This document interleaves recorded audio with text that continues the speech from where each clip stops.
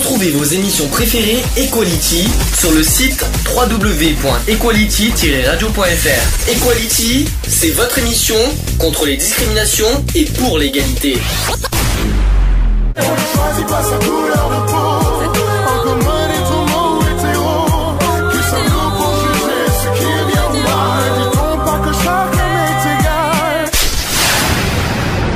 L'union fait la force. Ici, c'est le sujet du jour. Sujet du jour, c'est sur les internés aux hôpitaux psychiatriques. Je voudrais, je voudrais poser une question, vite fait déjà à tout le monde. Qui a été déjà dans un hôpital psychiatrique? Moi. Voilà, donc déjà, t'as pas honte de le lire, il n'y a pas de souci. Hein. Ah non, mais moi j'ai pas honte de le dire que je me suis fait hospitaliser en psychiatrie. Alors justement, euh. c'est une bonne question. c'est, euh, Justement, est-ce que toi, tu, tu le caches? Que Ah été- non. tu, euh, Ah Des non. personnes, tu le dis euh, tu, tu nous Ah mais moi je le dis que comme quoi que j'étais hospitalisé en psychiatrie. euh. Et quelles sont les réactions des gens? Oh les gens ils font euh, ils ont des ils me disent ah bon comment euh, Pourquoi comment ça se fait pourquoi euh, Ouais. voilà ils, ils sont étonnés de savoir que j'étais en psychiatrie et Ils ont été étonnés, mais ils t'ont pas. Ils t'ont- ils- ils ont, les réactions étaient plus négatives ou est-ce qu'ils ont été intéressés en disant pourquoi, qu'est-ce qui s'est passé, c'est toi, c'est quoi non les même réactions pas même pas D'accord, même pas ils ont pas posé de questions ils sont d'accord. Et toi, Eve, est-ce que ça t'est arrivé? Mais moi, je dirais, non, je ne suis pas folle, c'est les autres qui sont normaux. Alors non, alors ça justement, c'est justement cette question-là que je voudrais poser. Est-ce que le fait qu'on est dans un hôpital psychiatrique, ça veut dire qu'on est fou? Pas Mais forcément Bien sûr que non. Et puis, qu'est-ce que la folie hein? Hmm, Oh, non, mais- On peut aller dans une, euh, une aile psychiatrique pour une, une dépression. Bien sûr. Mais, le- le- le- oui, Il mais c'est. pas euh, forcément euh, avoir euh, des maladies euh, euh, chroniques, Mhm, hein, euh, style euh, schizophrénie et autres, mhm. pour aller en, en- en- se faire soigner euh, dans, une, dans une aile psychiatrique. Euh, je sais pas moi, quelqu'un qui supporte mal euh, la perte de son travail, la perte d'un conjoint, euh, la perte d'un enfant. Bien sûr. Tout ça peut mener une personne à faire une dépression. Ou aussi, et puis allons plus loin, on va- il faut être honnête, tentative de suicide aussi. hein, ah euh, bah il y bien a les sûr, il y a tentatives de Oui, mais la suicide tentative Mais il y a de plein de- suicide, il y a toujours une cause qui Hmm. mène à la tentative de suicide. On ne veut sûr. pas se suicider alors qu'on a une vie, euh, je veux dire, heureuse et épanouie. Il y a quelque chose qui a fait que euh, la personne veut mettre euh, fin à ses jours. Alors, rappelons que, que l'hôpital psychiatrique est un lieu mystérieux, euh, que l'hôpital psychiatrique est à la fois source de fantasmes et de craintes. Oui, ça peut être source de, fantasmes, ça paraît Ah étonnant, bon mais c'est vrai. Alors- Quand tu vois beaucoup de, de films d'horreur, il y a beaucoup de films d'horreur d'inspirés de, de, de, de- de- d'endroits euh, comme ça, de vieilles asiles psychiatriques où on torturait des, des, des patients et que leur âme euh, reste là euh, dans les couloirs euh, à essayer d'attraper les vivants pour leur faire euh, je ne sais quoi. Tu regardes trop de films, Eve. tu, tu regardes trop de films, là, franchement. Non, parce que là, on n'en est pas à ce stade-là, quand même, dans la réalité. hein. Alors, que s'y passe-t-il entre ces murs? C'est une bonne question. Qui sont ces fous? Entre guillemets, je précise. Vraiment entre guillemets, c'est pas moi qui l'a dit, hein, c'est le sujet. Euh, les films ou les séries nous en donnent un aperçu pas toujours très juste. Hein, n'est-ce pas, Eve? C'est pour ça que je te dis ça. Ouais, Euh, quand l'hôpital général soigne les douleurs du corps, l'hôpital psychiatrique prend, en charge les troubles mentaux et les souffrances de l'esprit. Il permet de se faire soigner euh, ou de se soigner en se mettant temporairement à l'écart du quotidien et de la société. Donc nous sommes aujourd'hui très loin des méthodes barbares et des traitements jugés inhumains qu'on utilisait il y a encore 50 ans. Hum. Il faut quand même le dire. électrochocs, tu parles, toi. C'est un exemple, mais il y a eu plein de choses. Non, mais à l'époque, c'était un truc de fou. hein. Euh, Justement, c'est moins, c'est moins qu'on puisse dire, hein, on va dire ça comme ça. Mais les méthodes, hein, je parle. Je parle Ah, les méthodes étaient assez c'est- barbares, quand même, Euh, assez dingue. euh, maintenant, ma- maintenant les, les psychiatres, ils le reconnaissent. hein, ils disent que c'était carrément de la torture, c'était carrément euh, euh, priver euh, euh, les patients de, de, De de leur droits. De, voilà, et c'était vraiment euh, Mais on- va faire-. Hein. Mais on fera un petit débat de savoir qu'est-ce qu'on en pense aujourd'hui de, de- des méthodes de, de l'hôpital psychi- psychiatrique d'aujourd'hui, parce qu'il y, a eu- il y a quand même quelques bémols à dénoncer et qu'on voudrait, qu'on voudrait en parler. Euh, L'hôpital psychiatrique était un établissement fermé. Hum. Ça, ça sera le premier- Ça, la première chose ouais. qu'on qu'on va en parler, qui est spécialisé pour les personnes qui présentent des troubles mentaux sévères.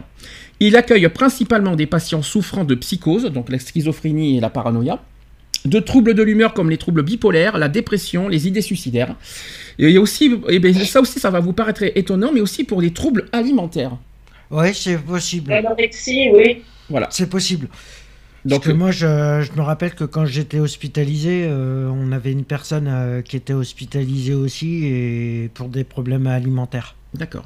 Et vous avez aussi les troubles anxieux. Alors, ce qu'on appelle les troubles anxieux, c'est les TOC, les phobies sociales, Mm. l'anxiété généralisée, etc. Et, sachez, sachez aussi que certains hôpitaux offrent des soins aux personnes souffrant d'addiction aussi. Donc, le cannabis, etc. euh, L'alcool, bien sûr, voilà, Mm. tout ça. Il existe aujourd'hui plusieurs types d'hôpitaux psychiatriques. Est-ce que vous étiez au courant? Hum, qui, qui varient en fait selon différentes offres de soins. Donc certains hôpitaux se consacrent aux consultations de courte durée et aux thérapies de patients dont la souffrance et le risque de dangerosité est faible. D'autres sont spécialisés dans les soins plus prolongés de patients qui, en raison de leurs troubles, nécessitent un environnement spécialisé et contrôlé par une assistance quotidienne. Les services de psychiatrie adultes sont séparés des services de psychiatrie infanto-juvénile. Donc vous ne verrez pas Ah. les enfants avec les adultes. Ça, Non, c'est- ça, logique. Et qu'il y a aussi des, euh, des hôpitaux destinés aux enfants et aux jeunes jusqu'à euh, 18 ans maximum. ouais, ils prennent jusqu'à la majorité. ouais. Autre chose, on distingue aussi plusieurs modes d'hospitalisation. Vous les connaissez ou pas? Alors il y en a Euh, trois. Je dirais c'est en fonction déjà du, du cas de la personne, euh, comment et puis comment elle réagit par rapport à la thérapie qu'elle qu'elle reçoit. Alors il y a trois possibilités. Toi tu l'as fait déjà. Alors le- la première, la première, Moi, c'est le psychologue. non. Hospitalisation, euh, ça s'appelle hospitalisation. Tu l'as fait Euh, libre. libre, voilà, le fameux HL. Donc hospitalisation libre, c'est la première, euh, le premier Mhm. niveau. Il La y a l'hospitalisation d'office. comment? Ça veut dire quoi libre Alors justement, je vais te le dire, Eva. Donc l'hospitalisation libre, ça veut dire que c'est la personne qui peut venir d'elle-même pour se soigner. Elle est libre de choisir son établissement et la durée de son séjour. C'est ce qu'on appelle donc l'hospitalisation libre, Hum. tout simplement. Niveau 2, vous connaissez? L'hospitalisation d'office? Non, faux. C'est pas l'autre niveau 2, c'est niveau 3 la chose. Il y a un niveau 2. Le niveau 2, c'est pas, c'est pas par rapport à la justice? Non, Parce que je sais qu'il y a une. euh, tu peux te faire hospitaliser par rapport à la justice. Ça, c'est l'office, le- ça c'est hospi- c'est à chaud. Ouais. Mais le deuxième, je sais pas alors. C'est HDT. HDT, c'est hospitalisation à la demande d'un tiers. Ah, ouais.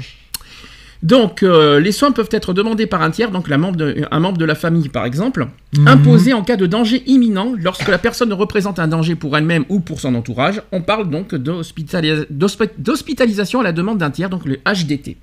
Mhm. Oui, mais euh, je sais pas si en France c'est pareil qu'ici en Belgique, mais en, en tout cas en Belgique ils font euh, l'accord de deux médecins Euh, parce qu'à un certain moment il y a eu des abus. Ça, c'est Euh, ça, c'est à chaud.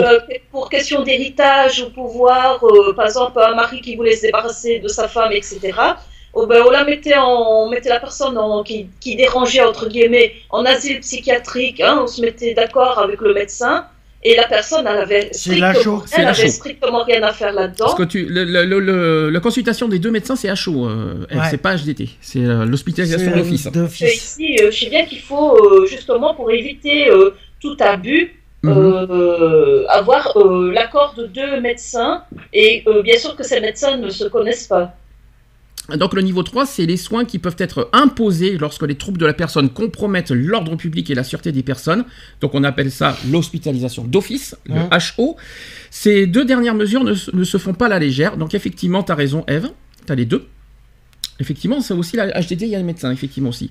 Mhm. Donc ces deux dernières mesures, HDT et HDO et HO, je vais arriver à le dire, euh, elles induisent une privation de liberté. Mhm. Déjà un. Et elles se décident en concertation avec au moins deux médecins. Au moins. Au moins. euh, Au moins deux médecins. Je- donc effectivement, HDT, il faut, au moins, il faut aussi des médecins. Donc tu avais raison, Eve, sur ce principe. Et sachez que le maire de la commune où réside le patient et le préfet qui représente l'État, et il y a aussi le statut de- sur la privation de liberté Mhm. qui, euh, qui, qui se joignent euh, là-dessus, dans ces deux dernières mesures. Donc euh, HDT et HO, c'est deux, dif- deux choses différentes, mais même principe euh, d'admission, c'est-à-dire avec les deux médecins minimum. Mhm. Euh, et le- même, euh, ils peuvent être admis par, la, par rapport à la justice. Le aussi. maire de la commune, le préfet et, et l'État aussi euh, qui, qui statuent pour, sur la privation de liberté. Voilà, je tiens à vous le dire. Et la chaux, évidemment, parce que tu parlais de la justice, on n'en a pas parlé, c'est la chaux aussi. Ouais, Voilà, ouais c'est la chaux, parce que oui, c'est euh, suivant les.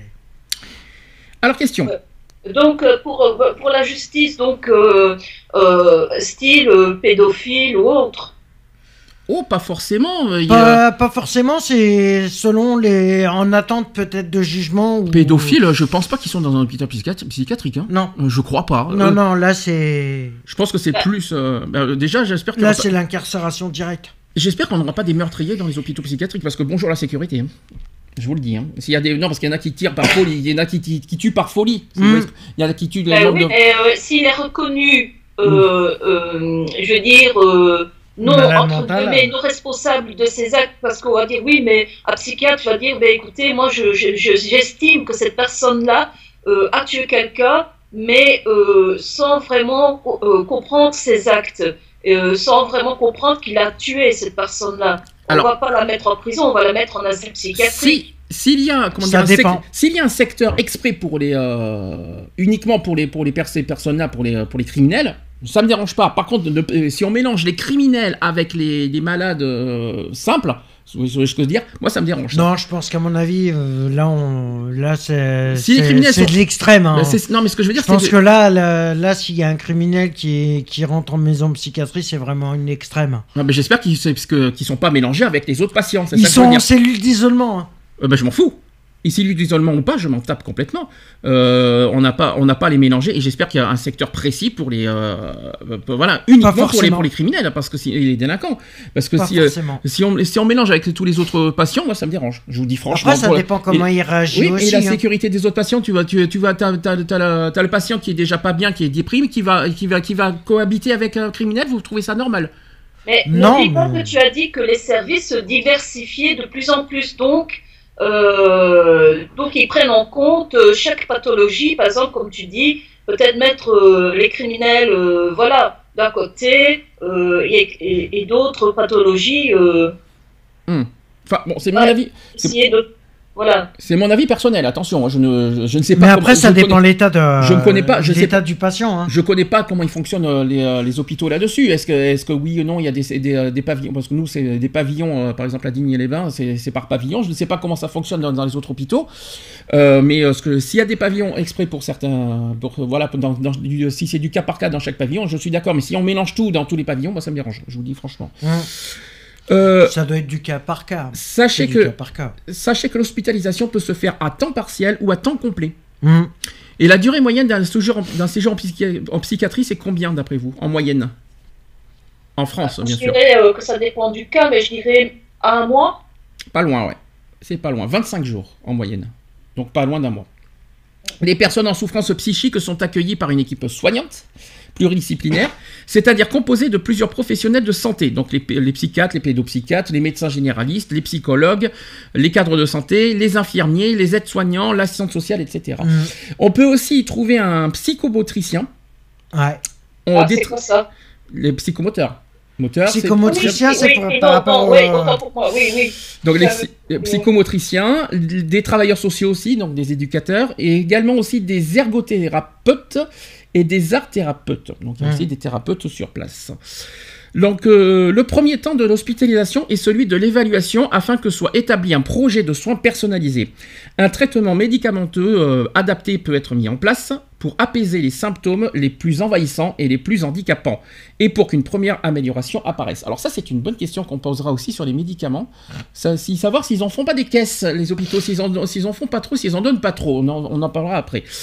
Ça dépend. Après, euh, ça dépend ce que tu, ça dépend ce que le patient il dit, Bah, il dit, non, parce que, je, aussi. non, parce que je, je- je vais dire, euh, si vous voulez, on en parle tout de suite des médicaments. Moi, je trouve que les hôpitaux, ils donnent plus que la moyenne euh, au niveau Après, ça dépend les pathologies. Hein. euh, Non mais attends, tu sors d'hôpital, tu sors de l'hôpital, tu te retrouves avec un médicament, tu vas dans l'hôpital, tu te retrouves avec quatre médicaments. Je sais pas si tu trouves ça Mm. normal.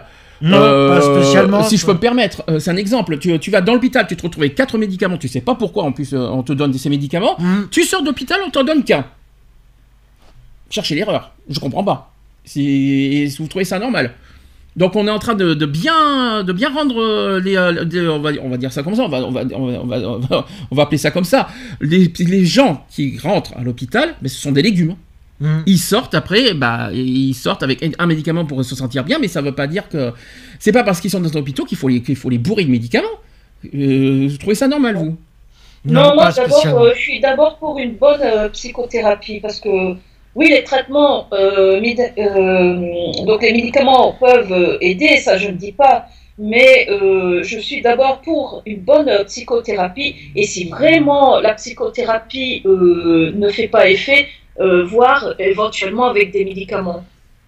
Oui, mais bon, euh, non, mais le problème c'est qu'ils imposent les médicaments. Vous savez qui c'est qui, euh, qui font les médicaments? C'est quoi qu'il en soit, c'est un psychiatre, Hum, un médecin, Oui. ou- généraliste ou psychiatre qui, euh, qui donne- Psychiatre. C'est psychiatre, c'est pas un généraliste qui donne les médicaments? Un, un- un généraliste, il peut euh, aussi il peut donner. Ouais.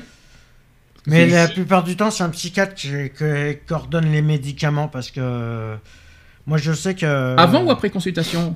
Euh, Après consultation. Ah, j'espère bien, parce que s'ils font avant consultation, on te donne des médicaments sans consultation au psychiatre, euh, c'est quand même. Non, non, il y a dis, toujours hein. une consultation de psychiatre avant de- Ah, mais j'espère d'avoir les médicaments. J'espère bien. Parce que ça dépend de ce que le patient il donne euh, comme élément pour. euh, Enfin, pour moi, pour moi, je vais pas vous mentir, moi je trouve que c'est les hôpitaux psychiatriques, je suis d'accord qu'ils sont là pour prendre soin, mais je trouve que donner trop de médicaments, c'est pas ça, ça rend pas service au- pour autant le, aux patients.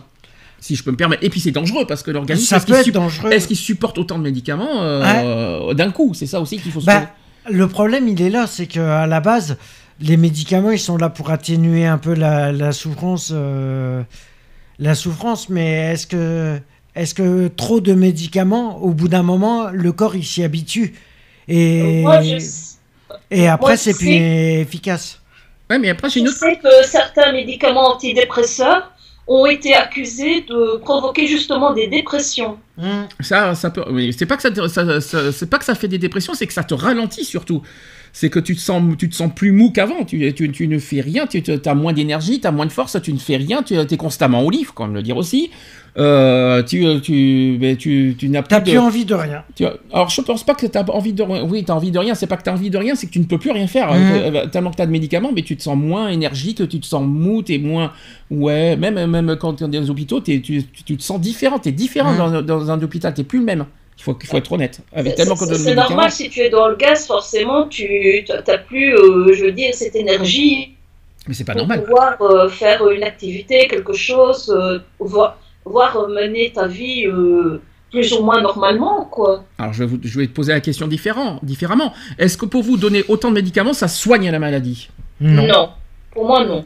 Donc, est-ce que vous posez, est-ce que ça sert à quelque chose d'en donner autant de médicaments, puisqu'on sait qu'il y a des, il y a des, il y a des, tra- il y a des maladies qui se guérissent pas déjà? Mhm. Le trouble bipolaire, je suis désolé, ça se guérit pas. Donc, je suis désolé. Euh, est-ce que vous, est-ce que, est-ce qu'on peut donner autant de médicaments pour un trouble bipolaire alors qu'on sait que ça se guérit pas derrière, qu'il va sortir, qu'il aura toujours le trouble bipolaire? Ça sert à rien.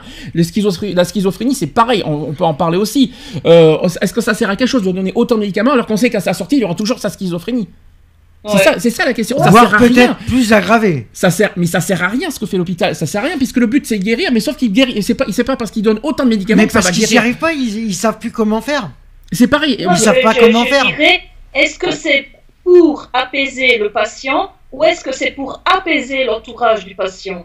Alors, dans ce cas, je vais, je vais poser une question. Quand on fait une dépression, normalement, quand on déprime, c'est pour des problèmes psychiques parce qu'on a, on- voilà, comme tu as dit Eve tout à l'heure, on a perdu un proche, on a perdu ça. Est-ce que vous pensez qu'on euh, de, de, de- qu'on ait autant de médicaments, ça va nous faire oublier euh, les souffrances? Ah non. C'est un, c'est- c'est un exemple que je vous donne. Hein. Et Je- puis, je dirais même que ça, ça peut que ralentir la guérison. Parce que, imaginons que euh, quelqu'un perde son conjoint. Hmm. Le fait de, justement de ralentir ses émotions, de ralentir tout son, de tout ralentir tout son ressenti, toute cette, toute cette peine, et ça veut dire que ça, ça ralentit justement son deuil. Et, et cette personne-là, au lieu de, je sais pas moi, j'invente peut-être un an, deux ans, trois ans pour faire son deuil, ben dix ans après, elle est toujours en train de faire, euh, en train d'essayer de faire son deuil, parce qu'elle sera tellement ralentie pour moi. Moi, c'est ce que je pense. Hein, Hmm. euh, dans, dans, dans son cheminement de, de, de mise en deuil que ça va durer, mais durer, euh, je sais pas, peut-être toute sa vie. Moi personnellement, moi je dis que c'est c'est à double sens. Parce que ça peut t'aider. Euh, personnellement, ça peut t'aider, mais c'est pas. De toute façon, si ça. C'est une volonté de, de passer outre. Après, c'est à toi de voir. Euh, Je sais que tu as un coup de gueule à passer là-dessus. Je vais- J'en parler maintenant d'abord. euh, du, du sujet, justement, tu as un coup de gueule à passer pour euh, le, le fonctionnement de- interne de l'hôpital. Tu as des, Ah, choses, t'as des ouais. choses à critiquer. Et on en parlera après. D'abord, euh, dans un second temps, sachez que on vont être proposés différents espaces de parole, et c'est là que tu vas critiquer, Ouais. d'expression et de resocialisation.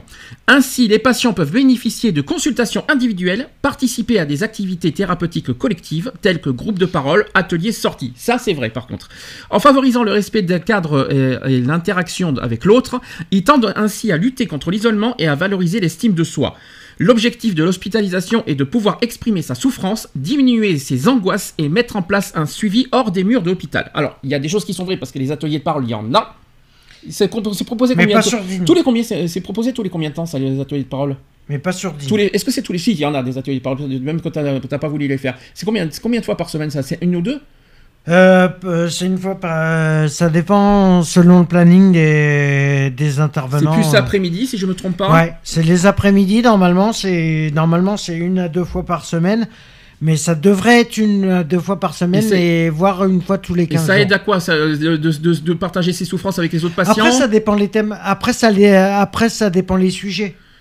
Ah parce que c'est des sujets, je pensais que c'était plus pour éva- évacuer vos propres souffrances. Non. Ah non, non, ça- non, non, c'est parce que c'est des, des sujets qui sont abordés euh, Dis- selon les. Un exemple? Euh, Ça peut être euh, sur la vie quotidienne, ça peut être.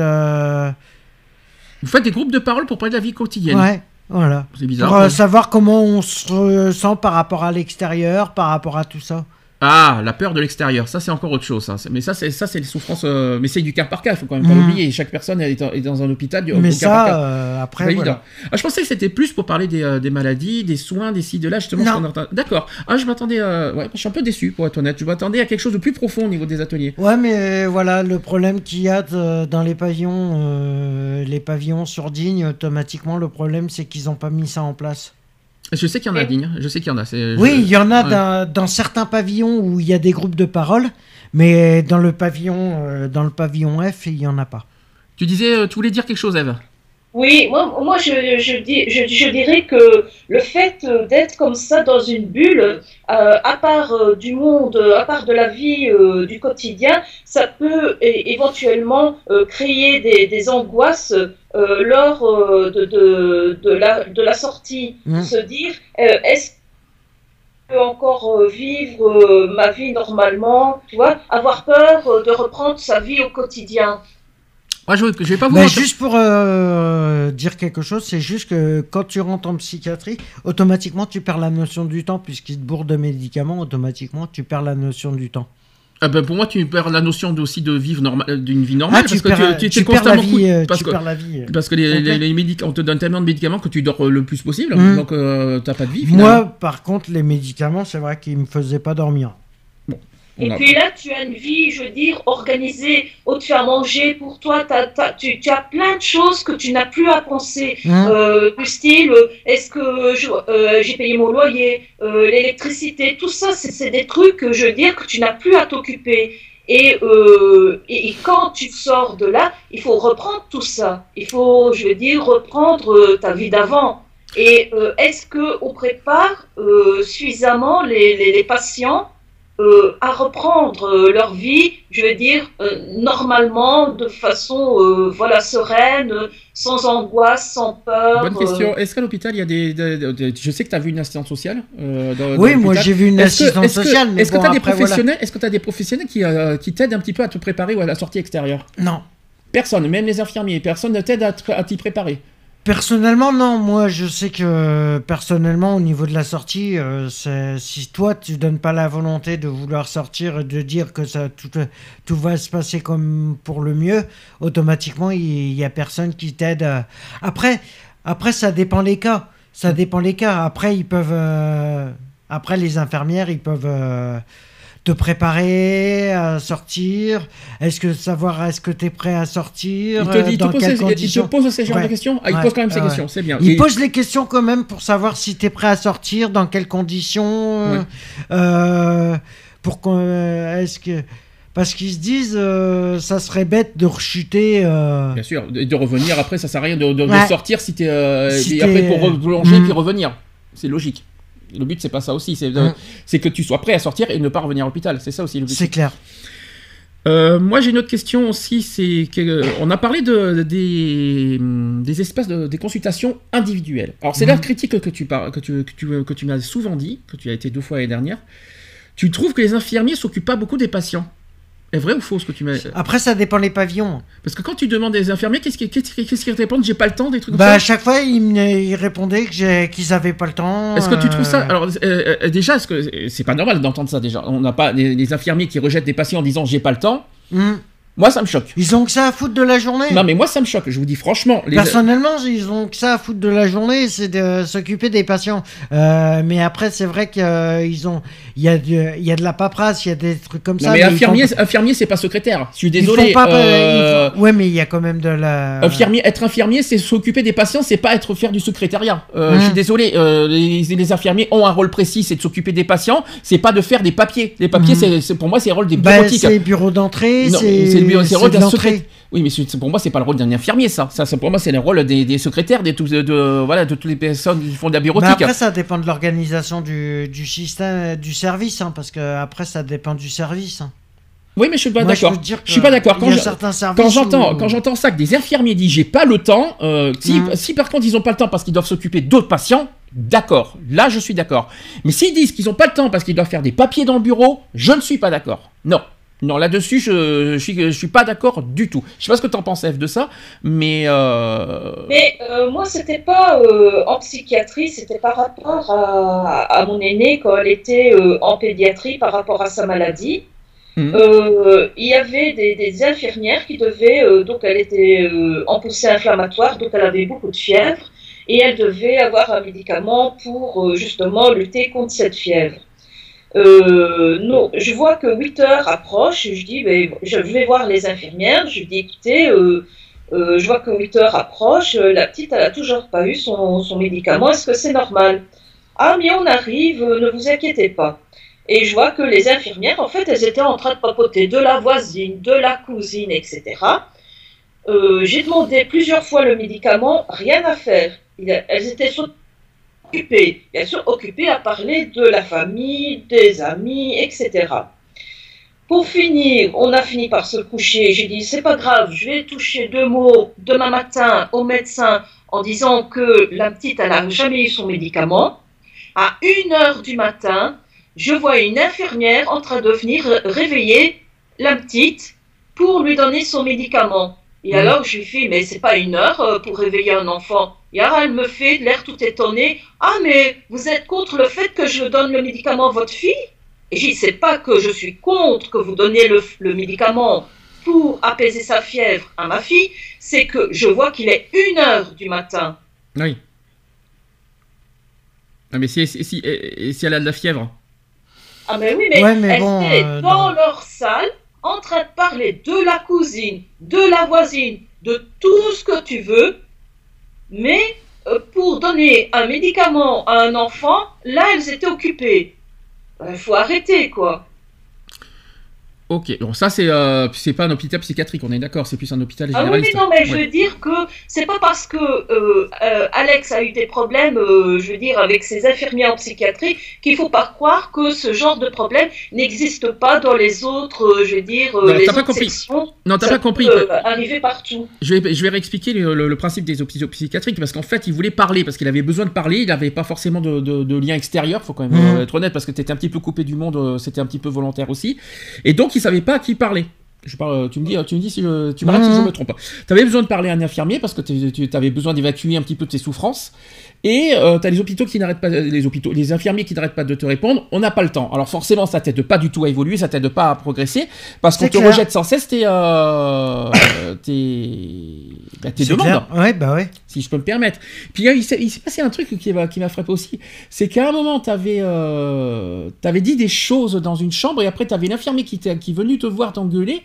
Euh, tu te souviens de cette Ah période oui, par rapport, mais à, par rapport à des réflexions que j'avais faites. euh, Eh bien, t'as le droit, t'as le droit de dire ce que tu veux, t'as le droit de le penser. Et Et que les infirmiers, ça leur a pas plu que je dise euh, comme quoi qu'ils étaient là à rien foutre, euh, assis dans le bureau à rien foutre, au lieu de s'occuper des patients. Et... ouais, tu l'as et dit, ça, et ça, tu l'as dit Je ouvertement. je l'avais ouver- dit ouvertement et ça, ça leur a pas plu. Et ils t'ont dit quoi exactement en retour? Ouais, mais que, en fin de compte, ils étaient pas là pour. euh, pour se faire engueuler au lieu de. Mais ils n'étaient pas là pour se faire engueuler, ils sont là aussi pour s'occuper des patients.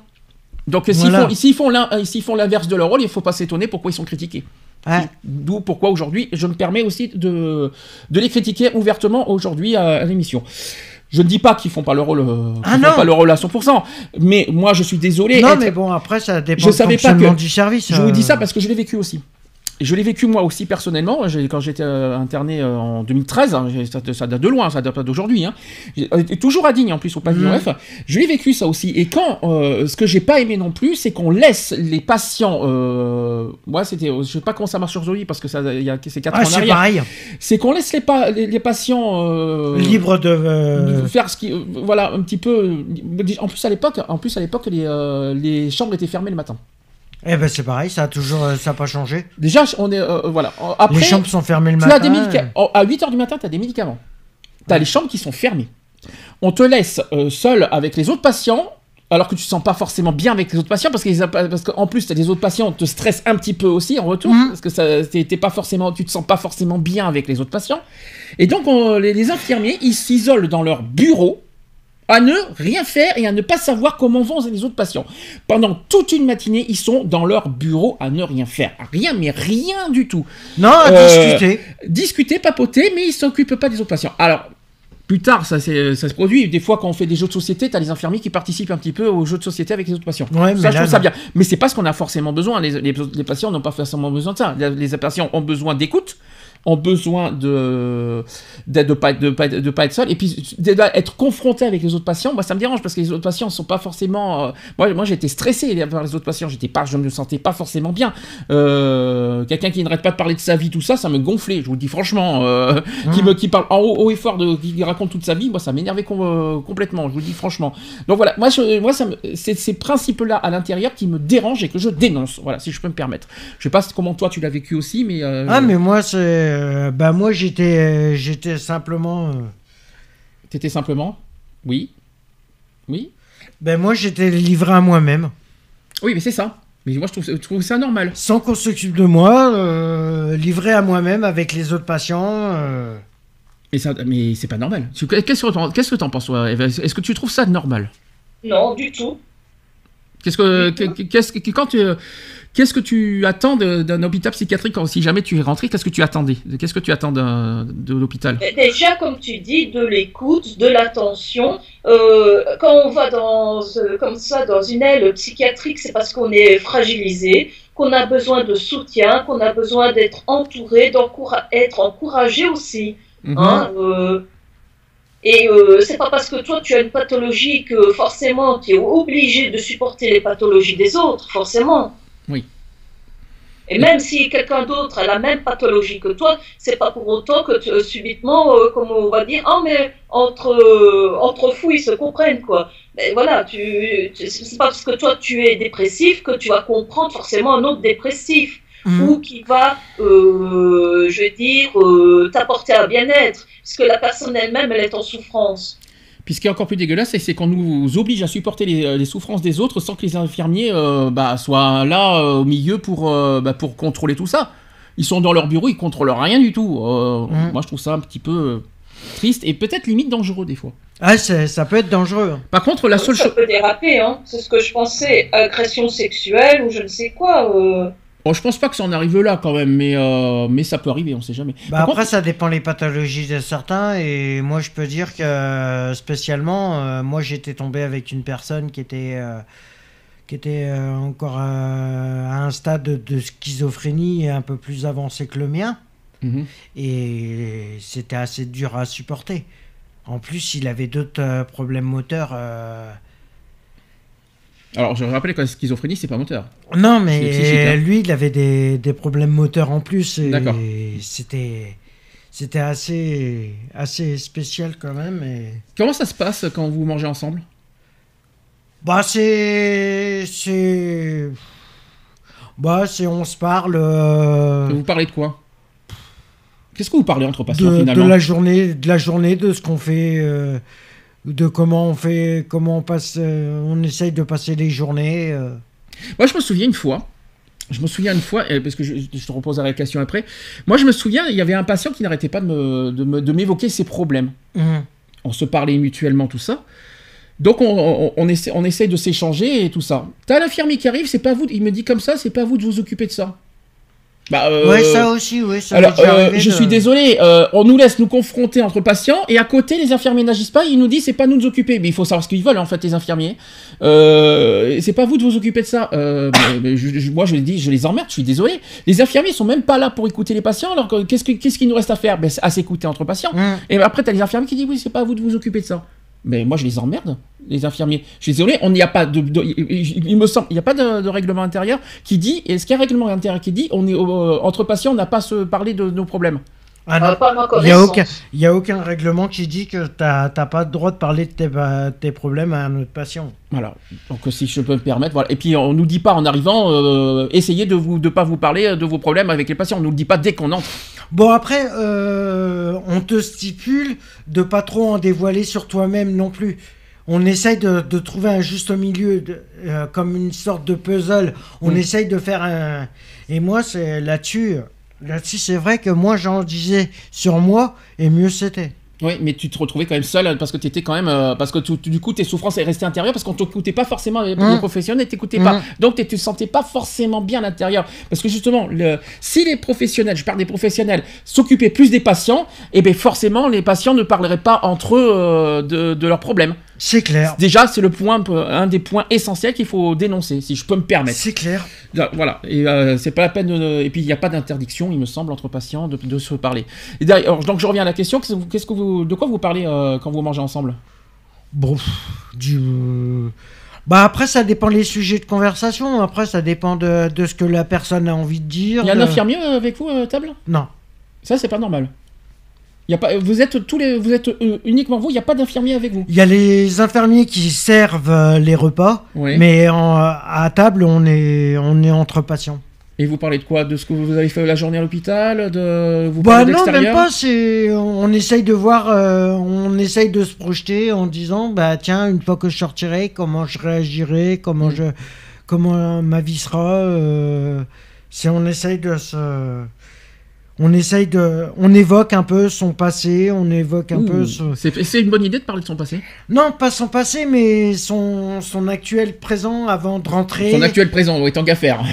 tant qu'à faire, le présent c'est actuel. Hein, si Oui, mais c'est, on essaye de, de, de- on essaie. Après, ça dépend du, du métier qu'on veut faire, euh, du métier qu'on était en train d'exercer avant de rentrer. Vous euh, parlez de l'avenir en fait après l'hôpital, comment ça va se passer? Mais vous Ouais. parlez pas de ça tous les jours euh, pendant les repas quand même. Non, après non. euh, Après, ça dépend.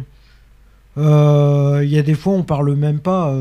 Des fois, on mange. Oh, bah, c'est bien triste si vous même- parlez pas, euh, Ouais. tristesse. Après, ça dépend de des activités qu'on pourrait faire. Oui, pendant, euh, euh, pendant- voilà. ouais, d'accord, je vois. Euh, on parlait aussi de que vous êtes, euh, vous êtes, vous perdez un petit peu de vie sociale. Donc, je répète Ouais. déjà. Alors, rappelons que les sorties étaient autorisées, sont pas autorisées, euh, même en HL euh, le premier jour. Il faut quand même le rappeler. Au bout de combien de temps t'as as eu une autorisation de sortie? 15 jours, 3 semaines, je crois. 15 jours. 15 jours. 15 jours quand même sans sortir. Hein. Ouais. C'était pas dur? Bon. C'est. Tu te dis, de toute façon, en rentrant à l'hôpital, tu connaissais les contraintes, tu savais qu'elles Ah bah, automatiquement, je savais les, je savais les contraintes. Alors, euh, Sinon, je serais jamais rentré. donc, euh, t'as pas pu sortir, t'as pas pu faire les courses, t'as pas Mm. pu. euh, alors, déjà, les comptes bancaires là-bas sont bizarres. Hein, je- euh, quand on apprend comment ça fonctionne là-bas au niveau des, pour, pour avoir des sous, pour s'acheter des cigarettes, Ouais. euh, je dois avouer que leur- le fonctionnement là-bas, j'ai Mais pas par contre, là-bas, bizarre. qu'est-ce qu'il y a comme taxeur? Qu'est-ce qu'il y a comme taxeur de cigarettes, Ouais. c'est ça? Oh, bon, Forcément, c'est logique. T'as Mais- tous les patients qui viennent voir, t'achètes à peine un paquet, t'es obligé de... Si tu mets pas le haut là vite fait, t'as au moins... Ah, t'as tout le monde qui euh, Oui, ah oui, ouais, oui, ouais. mais parce que même quand j'étais au téléphone avec toi, je m'en souviens, t'avais tout le monde qui disait Tu peux m'empêcher, tu peux me faire une cigarette tu me... fais- Et T'avais carrément quelqu'un qui te demandait de faire. Qui, qui- qui- qui te... que tu crées la cigarette, quoi. Enfin, tu- Mhm. que tu fasses le, le, le tube. Non, mais euh, ça va, quoi. Les non. gens, ils sont même pas capables de faire eux-mêmes les choses, il faut qu'en plus, toi, tu t'occupes des autres. Alors, ça, c'est une- ça, c'est vrai que c'est une erreur à ne pas franchir, à ne pas faire. Quand on est dans un hôpital, il faut pas s'occuper des autres patients. Hum. Ça, c'est vrai. faut d'abord s'occuper de soi. Et ça, t'as fait l'erreur. je, te, je te le cache pas, t'as demandé- je, je- je t'ai souvent euh, critiqué là-dessus. C'est que t'as tendance à beaucoup t'occuper des autres. Et c'était une erreur à ne pas commettre quand on est un patient, on s'occupe de soi et uniquement de soi. Oui, mais bon, après, voilà, on est beaucoup... Entre patients, on, est, on essaye de se... on Il y en a qui sollicitent d'autres patients parce que, voilà, ils ont besoin de parler, ils ont besoin de machin. Ouais, mais c'est ça le problème. Mais même, t'as beau leur dire euh, que t'es pas médecin, que t'es, que t'es pas infirmier, euh, c'est toujours ça. euh, Que- bon, ils le comprennent pas et c'est dommage qu'il y en a. Mais après, ça dépend les pavillons et je veux dire que le, le système de liberté selon les pavillons n'est pas le même. Bah, je dirais peut-être aussi que leur, leur pathologie les- le, euh, le- leur empêche de, de comprendre que voilà que bah, que l'autre est aussi au même peut-être au même stade que lui que voilà il ne peut pas l'aider plus que ça. Hmm. bien sûr. Est-ce qu'on a des réactions sur euh, non? Non, de toute façon, Eve Bah, s'occupe de non, ça. Euh, sur YouTube, il y a trois visionnages en cours, donc je présume qu'il a au moins une de Perpignan. Euh, si elle est là, euh, qu'elle me fasse un petit coucou sur le chat. Je dire rappelle, oui, je suis là ou un petit machin comme ça. Euh, sinon, euh, voilà. sur YouTube, parce qu'il faut rappeler aussi qu'on est visionnable aussi sur notre site et que les auditeurs qui nous écoutent sur notre site ne sont pas comptabilisés sur YouTube. Je tiens à vous dire. Donc on est, on est, il y en a plus que trois, je rassure tout le monde. Ah oui, oui, non, non, moi je parle C'est- de YouTube. hein, C'est euh, YouTube hein, qu'on parle, parce que sur le site, il y en a beaucoup plus. Je sais que tout le, beaucoup de monde sont sur le site, et je leur fais un petit coucou au passage. Euh, donc comment ça se passe après l'hôpital psychiatrique? Donc, il existe plusieurs dispositifs de proximité permettant d'accompagner les patients à leur sortie d'hôpital. Ces soins qui sont dits ambulatoires qui permettent la continuité des prises en charge médicamenteuses ou thérapeutiques et constituent une aide à la réinsertion sociale ou professionnelle des patients. Le pilier de ces soins, c'est le centre médico-psychologique, le fameux Mmh. CMP, qui est un lieu de consultation euh, et de suivi par un psychiatre ou un psychologue ou une infirmière psychiatrique. Ça, on le confirme. euh, Ouais. Et Ouais. d'ailleurs, euh, oh, là, franchement, le CMP, j'ai rien à reprocher. Ah non, franchement. Le CMP ce- de Sisteron qu'on connaît, euh, franchement, est-ce que tu as, des reproches à leur faire? Non, franchement, il. Très beau travail. Ouais. Ah, ce sont, ce sont- l'infirmière est, au- est une- est- c'est- elle est au top, elle est géniale. Hmm. Alors, elle, elle est vraiment, elle est Ouais, mais on plaisante bien aussi avec Bah, l'infirmière. non, moi, ça, moi, je peux te dire moi, une ça m'arrive que je plaisante avec l'infirmière. De... On parle de. Je, je donne pas son prénom parce que voilà, confidentialité. Mais franchement, par contre, si on avait une infirmière comme ça tous les jours dans les hôpitaux, euh, je serais Mmh. ravi, hein, je vous dis franchement. Mais clair. il en faudrait tous les jours des infirmières comme ça, euh, je vous le dis. hein. Ouais, nous, on plaisante bien. La psychiatre aussi. D'ailleurs, la psychiatre du CMP, c'est la psychiatre La de l'hôpital. Ouais. il faut quand même le faire. T'as Ouais. eu cette chance-là quand même. Donc, on n'a rien à lui reprocher non plus. Hmm. Non, Très ça bon va. médecin, très bon médecin qui est à l'écoute, elle. Ouais. Très, très à l'écoute Et elle, médecin. euh, elle sait. euh, Elle sait vite déceler quand même les pathologies de certains. Par contre, petit bémol, je ne citerai pas son nom, c'est la psychologue. Ah, la psychologue, ouais. Euh, D'ailleurs, j'ai euh, pas repris contact avec. Moi alors, non euh, plus, hein, je, je l'ai croisé, je l'ai vu, je l'ai rencontré. Euh, non. Voilà, je j'ai vraiment pas pris du tout de plaisir à lui parler. Euh, parce que franchement. Bah, vu, vu ce qu'elle t'a dit euh, Oui, aussi. oui, alors je- tu te souviens, je te l'ai raconté cette histoire quand j'étais quand j'ai eu mon rendez-vous en novembre. C'était c'était génial comme histoire. Mais bon, euh, voilà, la psychologue c'est un mauvais souvenir. Euh, je me demande pourquoi elle est là. elle euh, Enfin bon, bref, c'est pas Bah, grave. après. C'est le seul son bémol, c'est le, tempérament. c'est le seul point noir du CMP de Sisteron, mais sinon, euh, très bon, euh, le CMP c'est vraiment bien. Et, et puis, est-ce que franchement, euh, depuis que tu es sorti à l'hôpital, pour toi ça fonctionne bien le CMP Est-ce que ça, t'apporte quelque chose? Bah, le CMP, il m'apporte quelque chose, oui, parce que bon, après, ça, c'est un suivi qui peut être.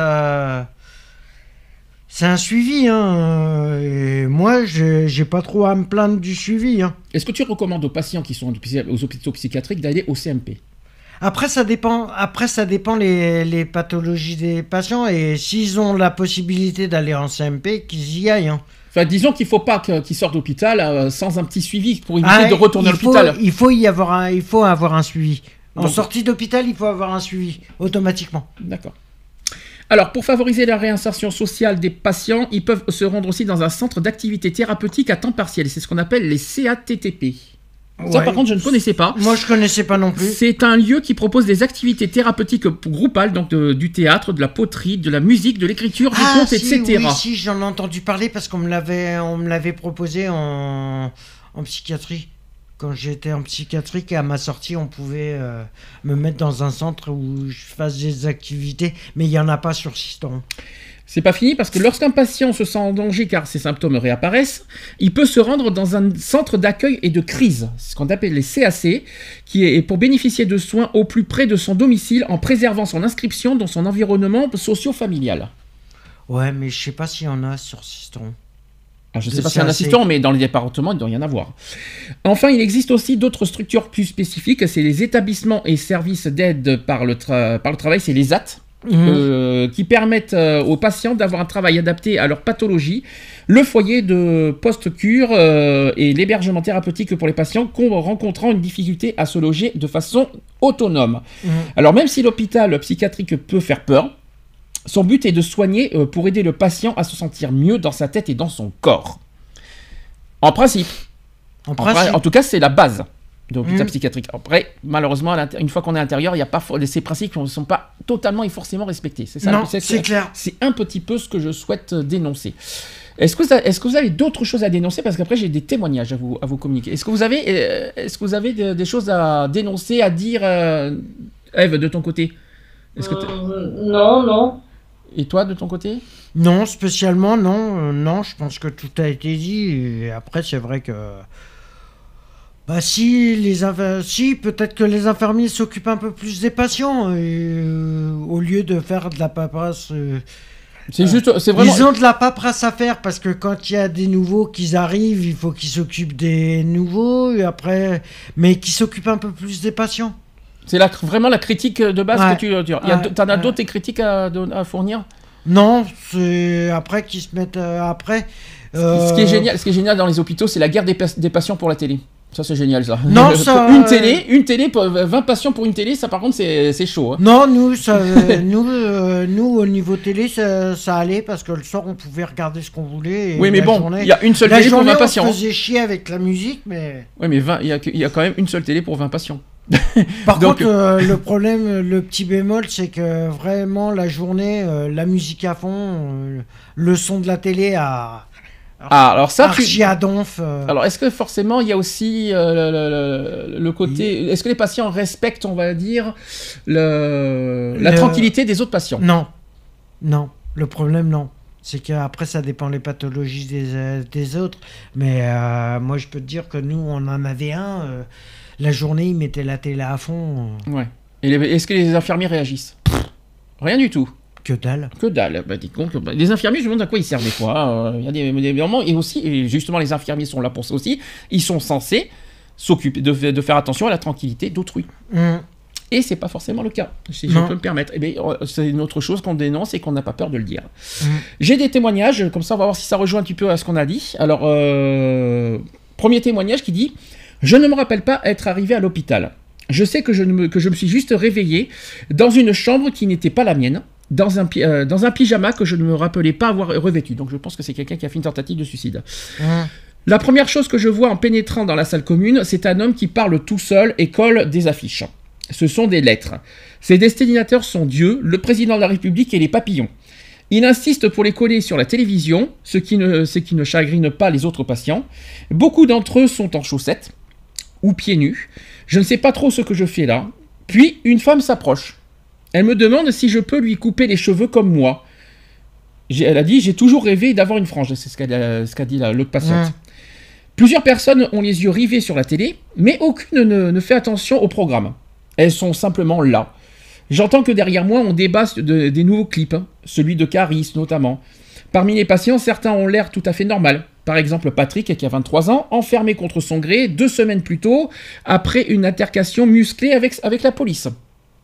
Tiens donc, ça, ça, ça, par contre, ça peut arriver. Ça, c'est possible hein, que euh, la police décide de, de mettre. euh, pour le protéger lui. Ouais, mais ça, Et disons- protéger. euh, Après, ça dépend ce qu'il a fait aussi. Alors, c'est un jeune euh, étudiant blond, calme et en apparence. Il passe ses journées à lire la presse. Le reste du temps, il cherche un moyen de s'enfuir.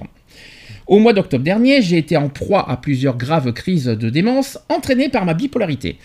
Celles-ci m'ont conduite à atterrir dans un hôpital psychiatrique parisien, plus précisément le centre, hospitalisé- euh, hospitalier de Sainte-Anne, un mardi vers 3h30 du matin.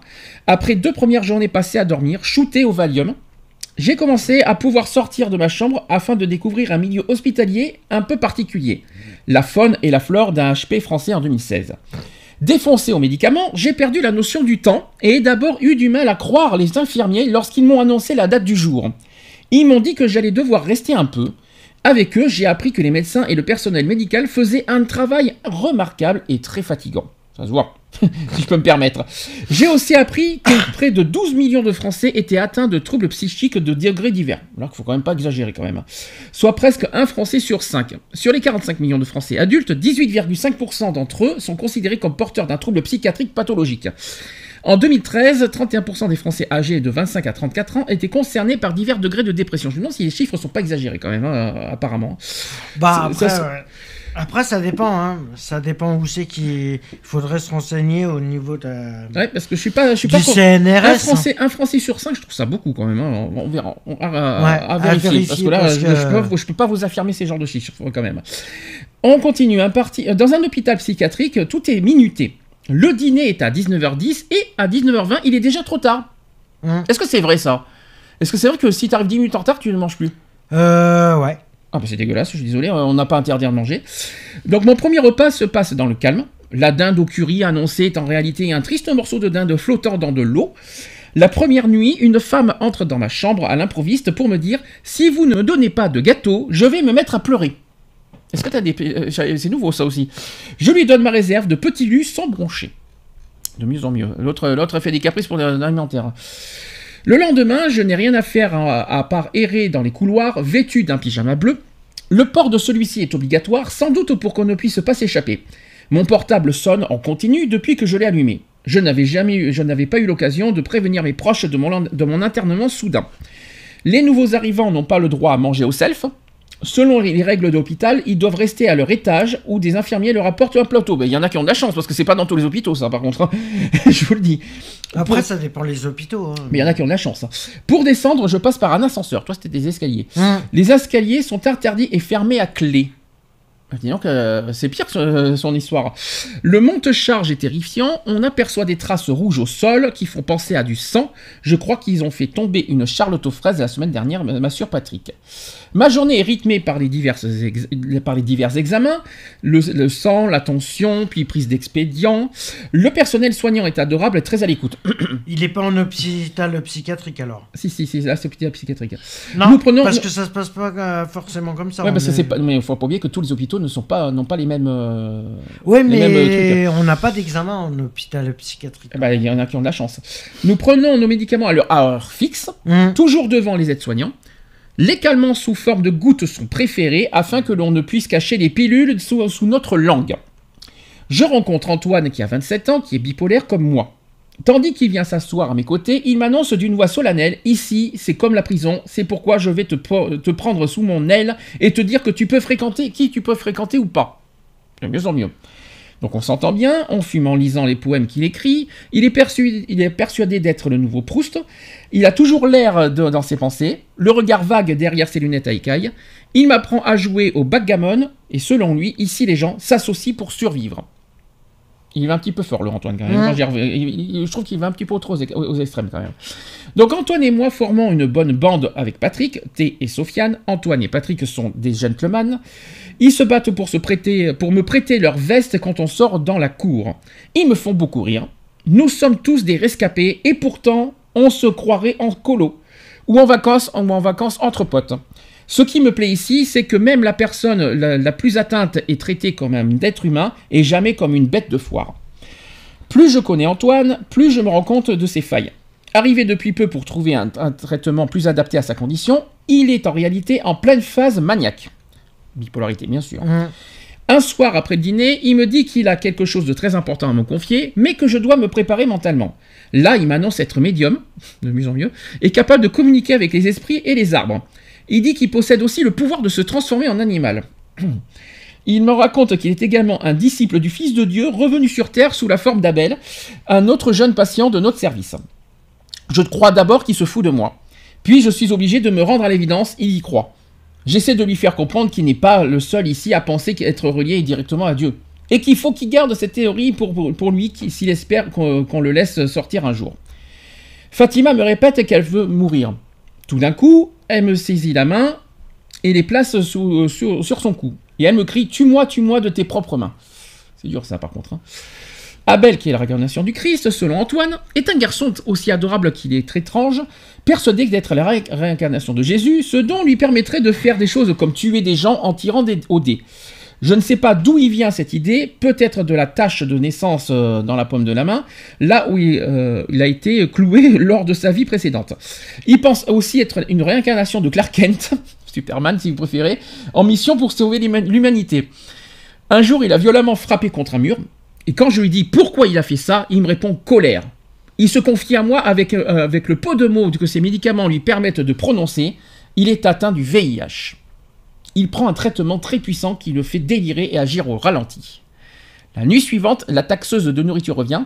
Je lui offre des clémentines. Antoine est parano, il me dit qu'elle cherche à me faire du mal et à aspirer mon énergie vitale. Il a vraiment l'air triste quand elle est dans les, dans les barrages. Les gens d'ici livrent leur histoire les plus intimes. Ça revient un petit peu à ce qu'on a dit. Les plus, clair. belles, les plus belles comme les plus tristes. Ouais. Une femme d'une cinquantaine d'années me révèle être folle amoureuse de sa femme depuis 22 ans.